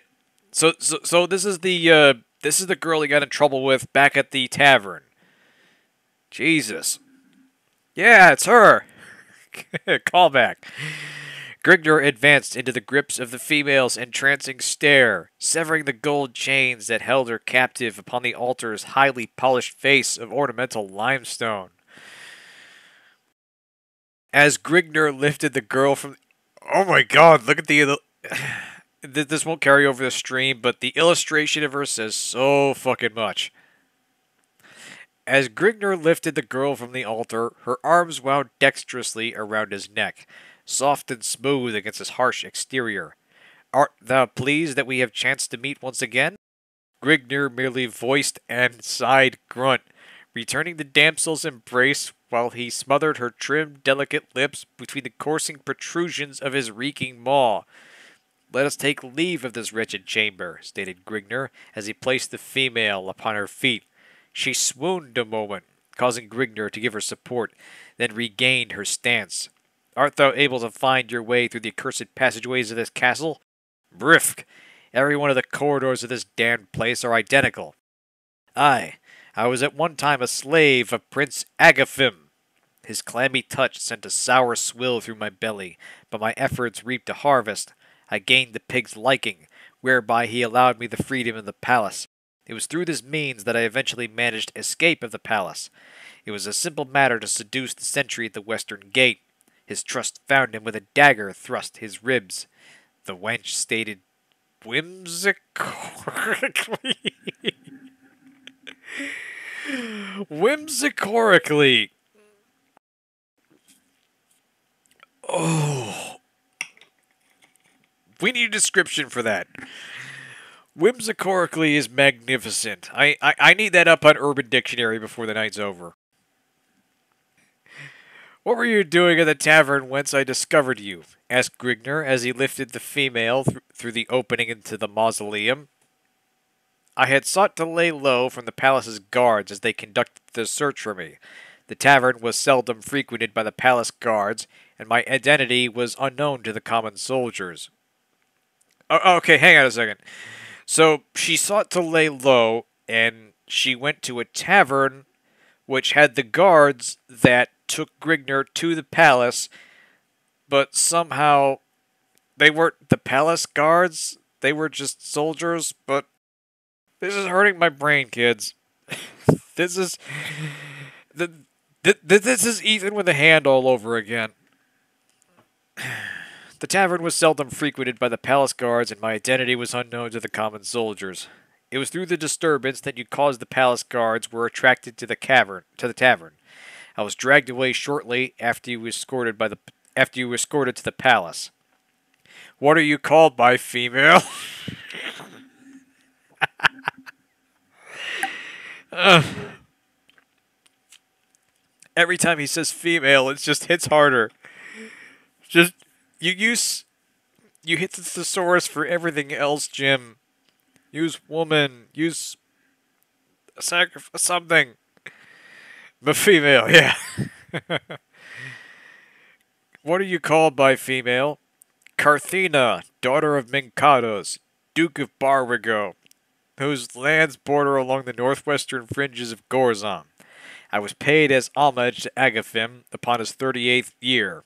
Husk the Fem. Hey, look, we finally got another word. And I am called the Barbarian, grunted Grignr in a disgusted tone. Aye, the ways of our civilization are in many ways warped and distorted. But what is your calling? She queered bustily.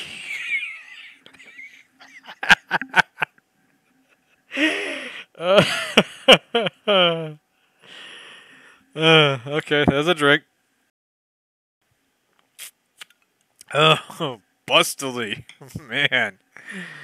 And she she she's asking what his job is, and he literally just said the sentence before.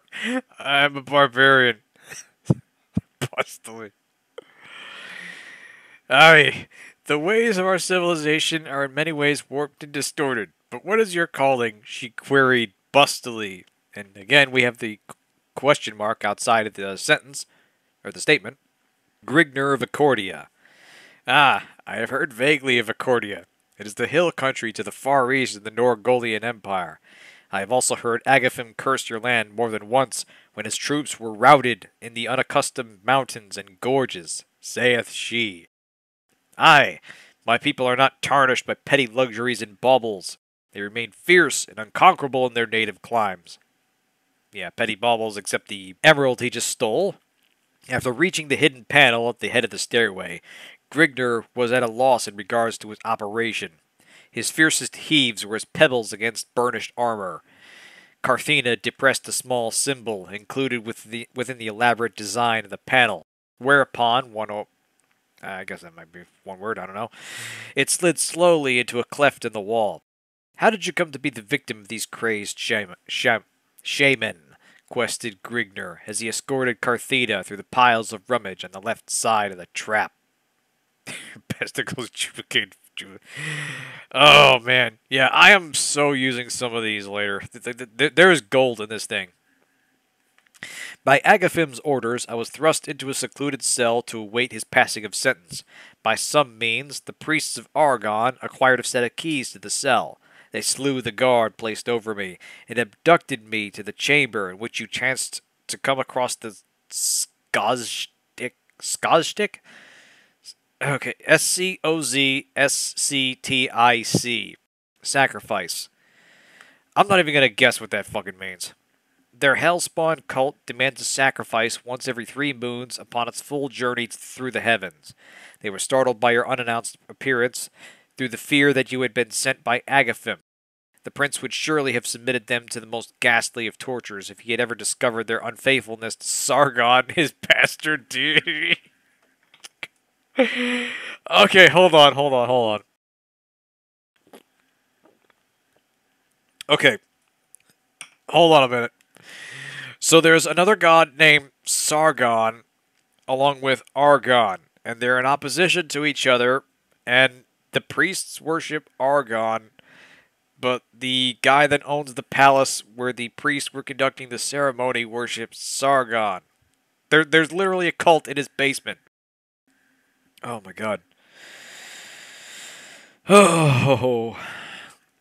The priest would surely have submitted them to the most ghastly of tortures if he had ever discovered their unfaithfulness to Sargon. Yeah, yeah, the the I, now I'm thinking of the uh, the YouTuber Sargon, and this is just this is a 40 car pileup of words, and I cannot look away. Many of the partakers of the ritual were high nobles and high trustees of the inner palace. Agaphim's pitiless pitiless wrath, two T's there, would have been unparalleled.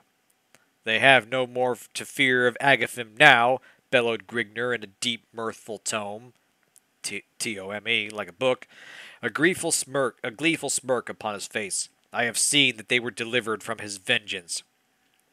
Engrossed by Carthena's graceful stride and conversation, Grignr failed to take note of the footfalls rapidly approaching behind him. As he swung astride the arched portal linking the chamber with the cor corridors behind, a maddened, bloodlusting screech reverberated from his eardrums. Seemingly utilizing the, utilizing the speed of thought, Grignr swir swerv swiveled to face his unknown foe. With gaping eyes and widened jaws, Grignr raised his axe above his surly mane, but he was too late. yeah, either that or like the Rains of Castamere or something. There is there is some brain destruction going on in this story here. Okay, so the entire chapter from Grignr's escape to rescuing Carthena was one chapter. We are now on chapter 7. With wobbling knees and swimming head, the priest that had lapsed into an epileptic seizure, again he spells seizure wrong, rose unsteadily to his feet. While enacting his choking fit and writhing agony, the shaman was overlooked by Grignr. The barbarian had mistaken the seizure for the death throes of the acolyte, allowing the priest to avoid his stinging blade.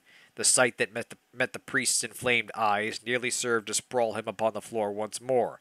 The sacrificial sat it grim sat it grim blooded silence all around him, broken only by the occasional yelps and howls of his maimed butchered fellows.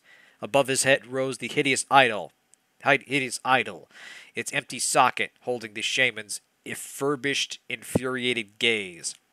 His eyes turned to a stony glaze with the realization of the pillage and blasphemy.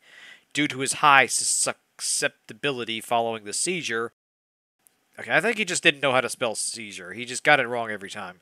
The priest was transformed into a raving maniac bent solely upon wreaking vengeance. With lips curled and quivering, a crust of foam dripping from them, the acolyte drew a long, wicked-looking jeweled hilted scimitar from his silver girdle and fled through the aperture in the ceiling, uttering a faintly perceptible ceremonial gibberish. Yeah, you're right. That does ring a bell. I, I Sargon does have kind of a Star Trek feel to it. I, I dimly recall what you're talking about. And yeah, you're right. It would have been around the same time frame. Maybe that's where he got it from. Okay, so the the shaman that had an epileptic fit, he's waking up. Like I thought that was him not knowing what epilepsy was, and like he just had a heart attack or something. But apparently he's gonna get back up and fight Grignr, and that was one half of a chapter. Return to tomorrow. Okay, that was a one.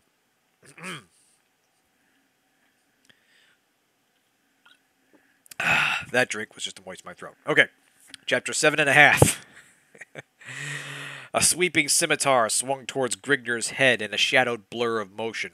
With axe raised over his head, Grignr prepared to parry the blow, while gaping wide-eyed, one word, in open-mouthed perplexity. Suddenly a sharp snap resounded behind the frothing shaman. The scimitar, halfway through its fatal sweep, dropped from the quivered, nerveless hand, clattering harmlessly to the stonage. Cutting his screech short with a bubbling, red-mouthed gurgle, the lacerated acolyte staggered under the pressure of the released springboard. Oh, okay. The guy stepped on the trap Grignr had reset. Interesting.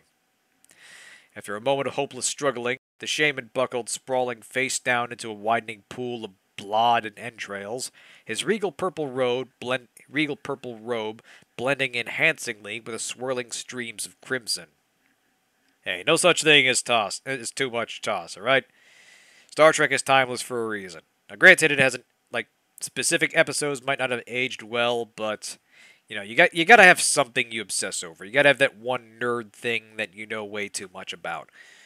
Anyway, Mrifk. I thought I had killed the last of those dogs, muttered Grignr in a half apathetic state. I think it is. I think that's like the barbarian god that he prays to or something. Nay, Grignr, you doubtless grew careless while giving vent to your lusts, but let us not tarry any long, lest we tax, lest we overtax the fates. Yeah, lusts. There we go. There's some real psychosexual undertones to this whole thing. The paths leading to freedom will soon be barred. The wretch's cries must certainly have attracted unwanted attention, the wench mused. For some reason, that's on a separate line. By what direction shall we pursue our flight? Up that stair and down the corridor a short distance is the concealed entrance. It's not entrance, it's entrance, to a tunnel seldom used by others other others than the prince, and known to few others save the palace's royalty. It is used mainly by the prince when he wishes to take leave of the palace in secret. It is not always in the prince's interest to leave his chateau in public view. Okay, is it a palace or a chateau? Those are different things. Even while under heavy guard, he is often assaulted by hurling stone, hurtling stones and rotting fruits. The commoners have little love for him. Lectured the Nair Lady? N E R E L A D Y. I can't even try, man. We're, we're, we're almost to the end of this thing. We, we can do this.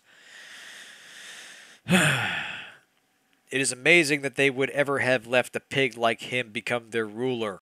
I should imagine that his people would rise up and crucify him like the dog he is. Alas, Grignr, it is not as simple as all that. His soldiers are well paid by him.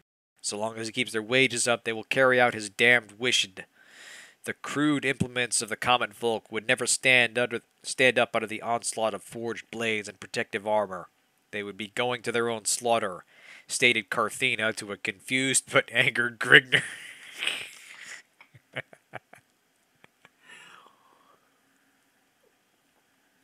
uh, something about confused but angered just got to me. I feel like that's his default state of being. Stated Carthena to a confused but angered Grignr as they topped the stairway. Yet how can they bear to live under such oppression? I would sooner die beneath the sword than live under such a dog's command, added Grignr as the pair stalked down the hall in the direction opposite that which Grignr had come.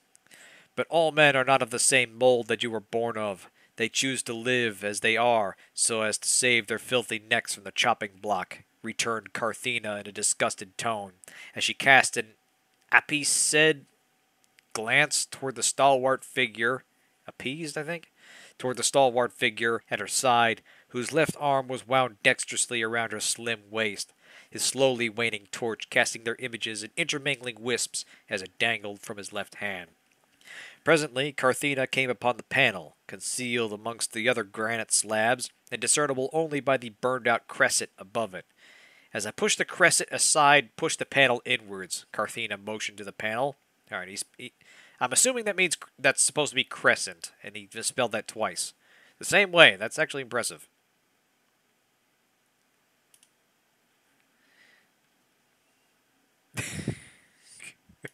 Yeah, exactly. He he he gave up to a group of soldiers that he probably could have taken or at least escaped from. Anyway, uh shit, where was I? As the as I pushed the crescent aside, push inwards. Carthena motioned to the panel she was referring to and twisted the crescent in a counterclockwise motion. Grignr braced his right shoulder against the walling against the walling, concentrating the force of his bulk against it. The slab gradually slung in, swung inward with a slight grating sound. Carthena stooped beneath Grignr's corded arms and crawled upon all fours into the passage beyond. Grignr followed after easing the slab back into place. Winding before the pair was a dark, musty tunnel, exhibiting tangled spider webs from its ceiling to wall and an oozing, sickly slime running lazily upon its floor. Hanging from the chipped wall upon Grignr's, for some reason the R in Grignr is capitalized, right side was a half moldering corpse, its gray, flacking arms held in place by rusted iron manacles. Carthena flinched back into Grignr's arms at the sight of the leering, set in an ugly, distorted grimace, staring horribly at her from hollow, gaping sockets. This alcove must also be used by Agaphim as a torture chamber. I wonder how many of his enemies have disappeared into these haunts, never to be heard from again, pondered the hulking brute. Let us flee before we are also caught within Agaphim's ghastly clutches. The exit from this tunnel cannot be very far from here, said Carthena with a slight sob to her voice, as she sagged in Grignr's encompassing embrace. Aye, it will be best to be finished with this corridor as soon as possible, but why do you flinch from the sight of death so? Brift. Okay, we got... We're misspelling the name of the god now. It's Mrifk. It, it, Marift, and it says Marift here. You have seen much death this day without exhibiting such emotions, exclaimed Grignr as he held her trembling form along the dingy confines. The man hanging from the wall was Diantha. He had committed the folly of showing affections for me in front of Agaphim. He never meant any harm by his actions. At this, Carthena broke into a slow, steady whimpering, choking, two Ks, her voice with gasping sobs. There was never anything between us, yet Agaphim did this to him. The beast, may the demons of hell's deepest, deep, deepest haunts claw away at his wretched, wretched flesh for this merciless act, she prayed. I detect that you felt more for this fellow than you wish to let on. But enough of this. Ooh, I think Grignr's getting jealous. We can talk of such matters after we are once more, once more free to do so. With this, Grignr lifted the grieved female to her feet and strode onward down the corridor, supporting the bulk of her weight with his surging left arm. Like, is he, like, fucking dragging her along? Jesus, hell. Presently, a dim light was perceptibly filtering into the tunnel, casting a dim reddish hue upon the moldy wall, a moldy wall of the passage's grim confines. Carthena had ceased her whimpering and partially regained her composure. The tunnel's end must be nearing. Rays of sunlight are beginning to seep into. Grignr claimed, clamid his right hand. Uh, it should be clamped. It's there's no P there. His right hand over Carthena's mouth, and with a slight struggle, pulled her to, over to the shadows at the right hand of the path, at the right hand wall of the path, while at the same time thrusting his torch beneath an overhanging stone to smother its flickering rays. Be silent! I can hear the footfalls approaching through the tunnel, growled Grignr in a hushed tone. Yeah, exactly. Like he's got his arm around her at all times, and it's not clear if she's actually walking under her own power. It's weird. All that you hear are the horses corralled at the far end of the tunnel. That is further sign that we are nearing our goal, she stated. Exclamation. All that you hear is less than I hear. I hear footsteps coming toward us. Silence yourself, that we may find out who whom we are being brought into contact with. I doubt that any would have thought as yet of searching this passage for us. The advantage of surprise, with a Z, will be upon our side, Grignr warned. Carthena cast her eyes downward and ceased any further pursuit towards conversation, an irritating habit in which.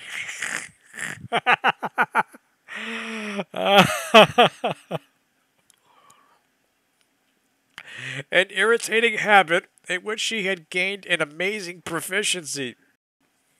Oh, God. Yeah, th th this is 70s incel territory. Holy shit.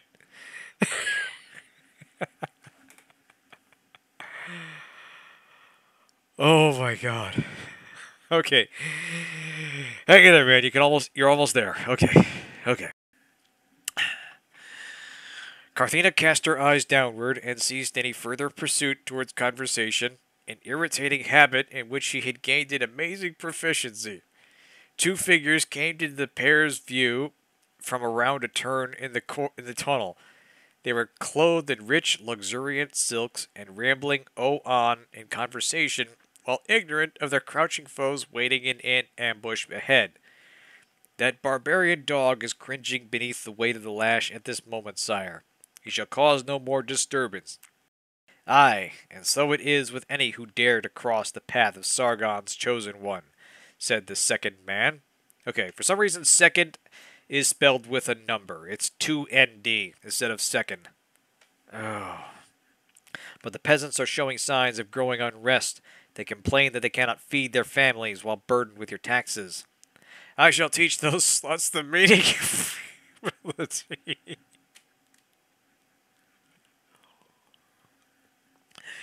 Okay, I was doing it right for a while, but I'm starting to lose it again. I shall teach those sluts the meaning of humility. Order an immediate increase upon their taxes. They dare to question my sovereign authority. Ha ah! They shall soon learn what true oppression can be. I will. Dot dot dot. Grignr gasped as he observed the bisected face set into its leering ag- death agonies. It was Agaphim, the dead man's comrade, having recovered from his shock, drew a jeweled encrusted dagger from beneath the folds of his robe and lunged toward the barbarian's back. Oh wait, no, I, I skipped a thing. I'm sorry. Ah, uh -uh. They shall soon learn what true oppression can be. I will. A shadowed bulk leapt from beneath the behind a jutting promontory, as it brought down a double-edged axe with the sped of a striking thought. One of the nobles sagged lifeless to the ground, skull split to the teeth. Grignr gasped as he observed the bisected face set in his leering death ag- agonies. It was Agafnd, the dead man's comrade, having recovered from his shock, drew a jewel encrusted dagger from beneath the folds of his robe and lunged toward the barbarian's back. Uh, oh, okay, hold on, hold on, hold on. Grignr stabbed the stabbed Agafnd, which was the counselor, wasn't it? I, I gotta look this up. Okay, Agafnd. Okay, yes, Agafnd was the counselor, and Grignr stabbed him because Agafnd jumped between Grignr and the prince, Agaphim, and got stabbed because Grignr took one of the guard's swords. And he's back somehow. Holy fuck. Okay. Uh, it was Agafnd. The dead man's comrade, having recovered from his shock, drew a jewel encrusted dagger from beneath the folds of his robe and lunged toward the barbarian's back. Yeah, yeah, he, he was shocked that it worked. He was shocked that hitting a man in the head with an axe split the skull in half. Grignr spun at the sound from behind and smashed out his crimson axe once more. His antagonist lunged, howling to a scream of stagnant green water, gasp, grasping a spouting stump that had once been a wrist. A wrist. Grignr raised his axe over his head and prepared, with an eye, to finish the incomplete job was deterred halfway through his lunge by a frenzied screech from behind. Carthena leapt to the head of the writhing figure, plunging a smoldering torch into the agonizing, agonized face. The howls increased in their horrid intensity, stifled by the sizzling of roasting flesh, then died down until the man was reduced to a blubbering mass of squirming, insensate flesh. Grignr advanced to Carthena's side, wincing from the putrid aroma of charred flesh that rose in a puff of thick white smog throughout the chamber. Carthena reeled slightly, staring dazedly downward at her gruesome handiwork, with a Y instead of I. I had to do it. It was Agaphim. I had to, she exclaimed. Sargon should be more careful of his right-hand men, added Grignr, a smug grin upon his lips. But to hell with Sargon now. The stench is becoming bothersome to me. With that, Grignr grasped Carthena around the waist, leading her around the bend in the cave and into the open. A ball of feral red was rising through the mists of the eastern horizon, dissipating, 1s, the slink, slinking shadows of the night.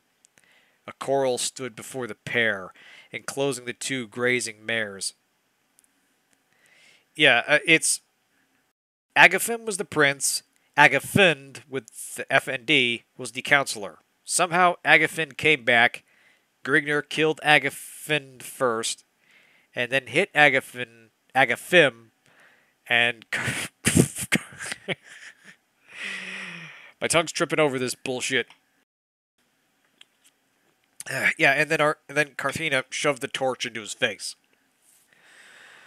Oh, we, we cannot possibly follow this. This is free association fantasy right here. Okay. A ball of feral red was rising through the mist of the eastern horizon, dissipating the slinking shadows of the night.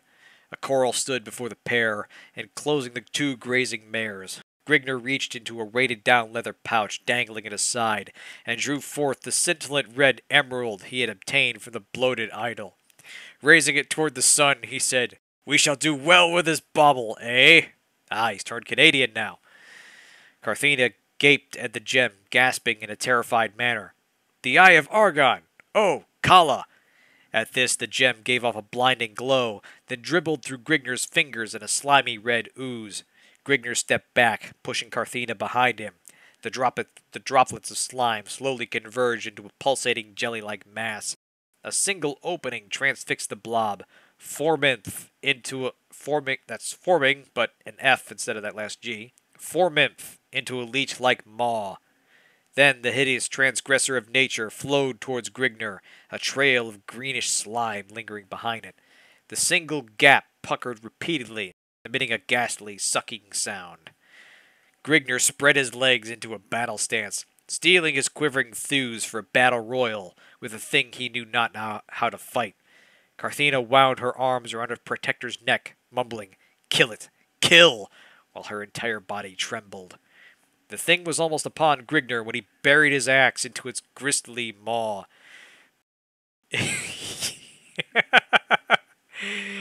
yeah, I'm seeing this thing as Pac-Man now. Oh. Oh, that's his drink.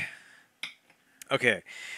When he buried his axe into the gristly maw, it passed through the blob and clanged upon the ground. Grignr drew his axe back with a film of yellow-green slime clinging to the blade. The thing was seemingly unaffected. Then it started to ooze, sluice up his leg. All right, I stumbled. That's a that's a drink. Then it started to sluice up his leg. The hairs upon his nape stood on end from the slimy feel of the thing's bully bulk. The Nautius, Nautus, I, I, I, I have to assume that's supposed to be nauseous. The Nautus capital N sucking sound became louder, and Grignr felt the blood being drawn from his body. With each hiss of hideous pucker, the thing increased in size. Grignr shook his foot about madly in an attempt to dislodge the blob, but it clung like a leech, still feeding upon his rapidly draining life fluid. He grasped with his hands, trying to rip it off, but only found his hands entangled in a sickly glue-like substance. The slimy thing continued its puckering, now having grown the size of Grignr's leg from its vampiric feast. Grignr began to reel and stagger under the blob, his chalk-white face and faltering muscles attesting to the gigantic loss of blood. Carthena slipped from Grignr in a death-like faint, a marrow-chilling scream upon her red rubish lips. In final desperation, Grignr grasped the smoldering torch upon the ground and plunged it into the reeking maw of the Travis tree. A shudder passed through the thing. Grignr felt the blackness closing upon his eyes, but held on with the last ebb of his rapidly waning vitality. He could feel its grip lessening, less lessening, like as in teaching someone rather than lessening, as a hideous gurgling sound erupted from the writhing maw. The jelly-like mass began to bubble like a vat of boiling tar, as quivers passed up and down its entire form. Oh, the lost ending. So I'm guessing the rest of this was like weirdly not finished or something. Anyway, with a sloshing plop, the thing fell to the ground, evaporating in a thick scarlet cloud until it reattained its original size. It remained thus for a moment as the puckered maw took the shape of a protruding red eyeball. Mouth took the form of an eyeball? Okay. The pupil of which seemed to unravel before it the tale of creation how a shapeless mass slithered from the quagmires of the stigmatic pool of time, only to degenerate into leprosy of avaricious lust. In that fleeting moment, the grim mystery of life was revealed before Grignr's ensnared gaze. Like, yeah, yeah, exactly. This is this is a blob trying to pa- mouth trying to pass as an eye. There's whatever, almost there, guys. Almost there, baby. We can make it to the border. We can be free from all this. The eyeball's glare turned to a sudden plea of mercy, a plea for the whole of humanity. Then the blob began to quiver with violent convulsions. The eyeball shattered into a thousand tiny fragments and evaporated in a curling wisp of scarlet mist. The very ground beneath the thing began to vibrate and swallow it up with a belch. The thing was gone forever. All that remained was a dark red blotch upon the face of the earth, blotching things up. You know, as a blotch would. Shaking his head, his shaggy mane to clear the jumbled fragments of his mind, Grignr tossed the limp female over his shoulder. Mounting one of the disgruntled mares and leading the other, the weary, scarred barbarian trooted slowly off into the horizon to become a tiny pinpoint in a filtered field of swirling blue mists leaving the nobles, soldiers, and peasants to replace the missing monarch. Long live the king! Four exclamation marks. By Jim Theis. Winner of the J.T. Rikosh Award for Excellence. Oh, man. Oh, I gotta read this transcriber's note. No mere transcription can give the true flavor of the original printing of the Eye of Argon. It was mimeographed with stencils cut onto an elite manual typewriter Many letters were so faint as to be barely readable. others were overstruck, and some that were to be removed never got painted out with correction fluid. Okay, so this was almost certainly done on our regular typewriter. Usually, only one space separated sentences, while paragraphs were separated by a blank line and were indented by ten spaces. Many words were grotesquely hyphenated, and there were illustrations. I cannot do that. I cannot do them justice in mere words, but they were a match for the text. These are the major losses of this version of the Eye of Argon. Otherwise, all effort has been made to retain the full and correct text, preserving even misspellings and drop spaces. An excellent proofreader has check it, checked it for both errors omitted and committed. What mismatches remain are mine. I shall endeavor to keep the original a cop. I shall endeavor to keep a copy of the original available for viewing, so that it may be appreciated in all its fullness.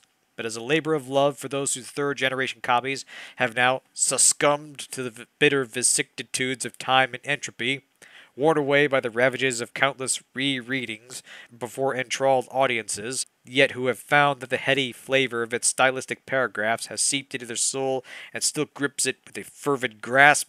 Yeah, I think he's just having a giggle there.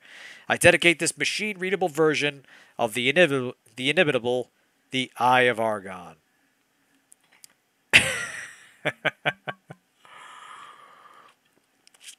Almost finished my third drink there. Oh.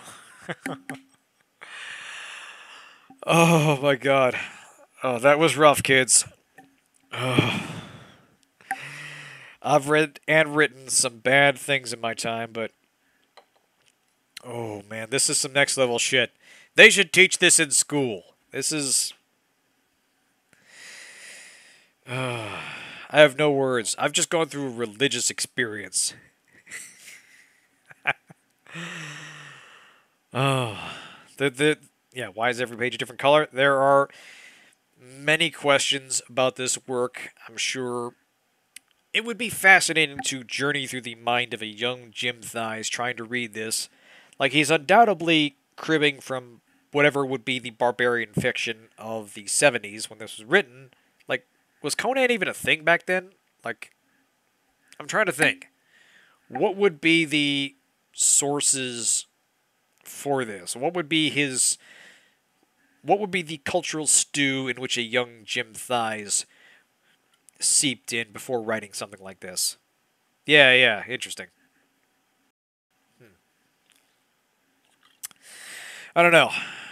I mean, I don't think any writer ever that made it to commercial success wrote something that they were not embarrassed by. Like everybody has a period where they're just getting shit out on a page and they're just getting the things in their head out there for their own enjoyment. Everyone has their fan fiction phase, like phase. Like I said, I've had that myself. The characters are created by the Robert. Okay, yeah. So, so yeah, th this barbarian fiction definitely existed back then. All right.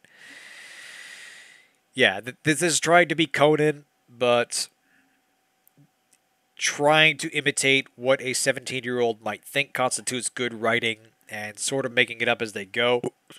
Excuse me. Obviously, he's like pulling from a thesaurus sometimes. Obviously, there's some woefully mis woeful misunderstandings of the opposite sex. This has been an adventure, kids. And I'm glad I did this.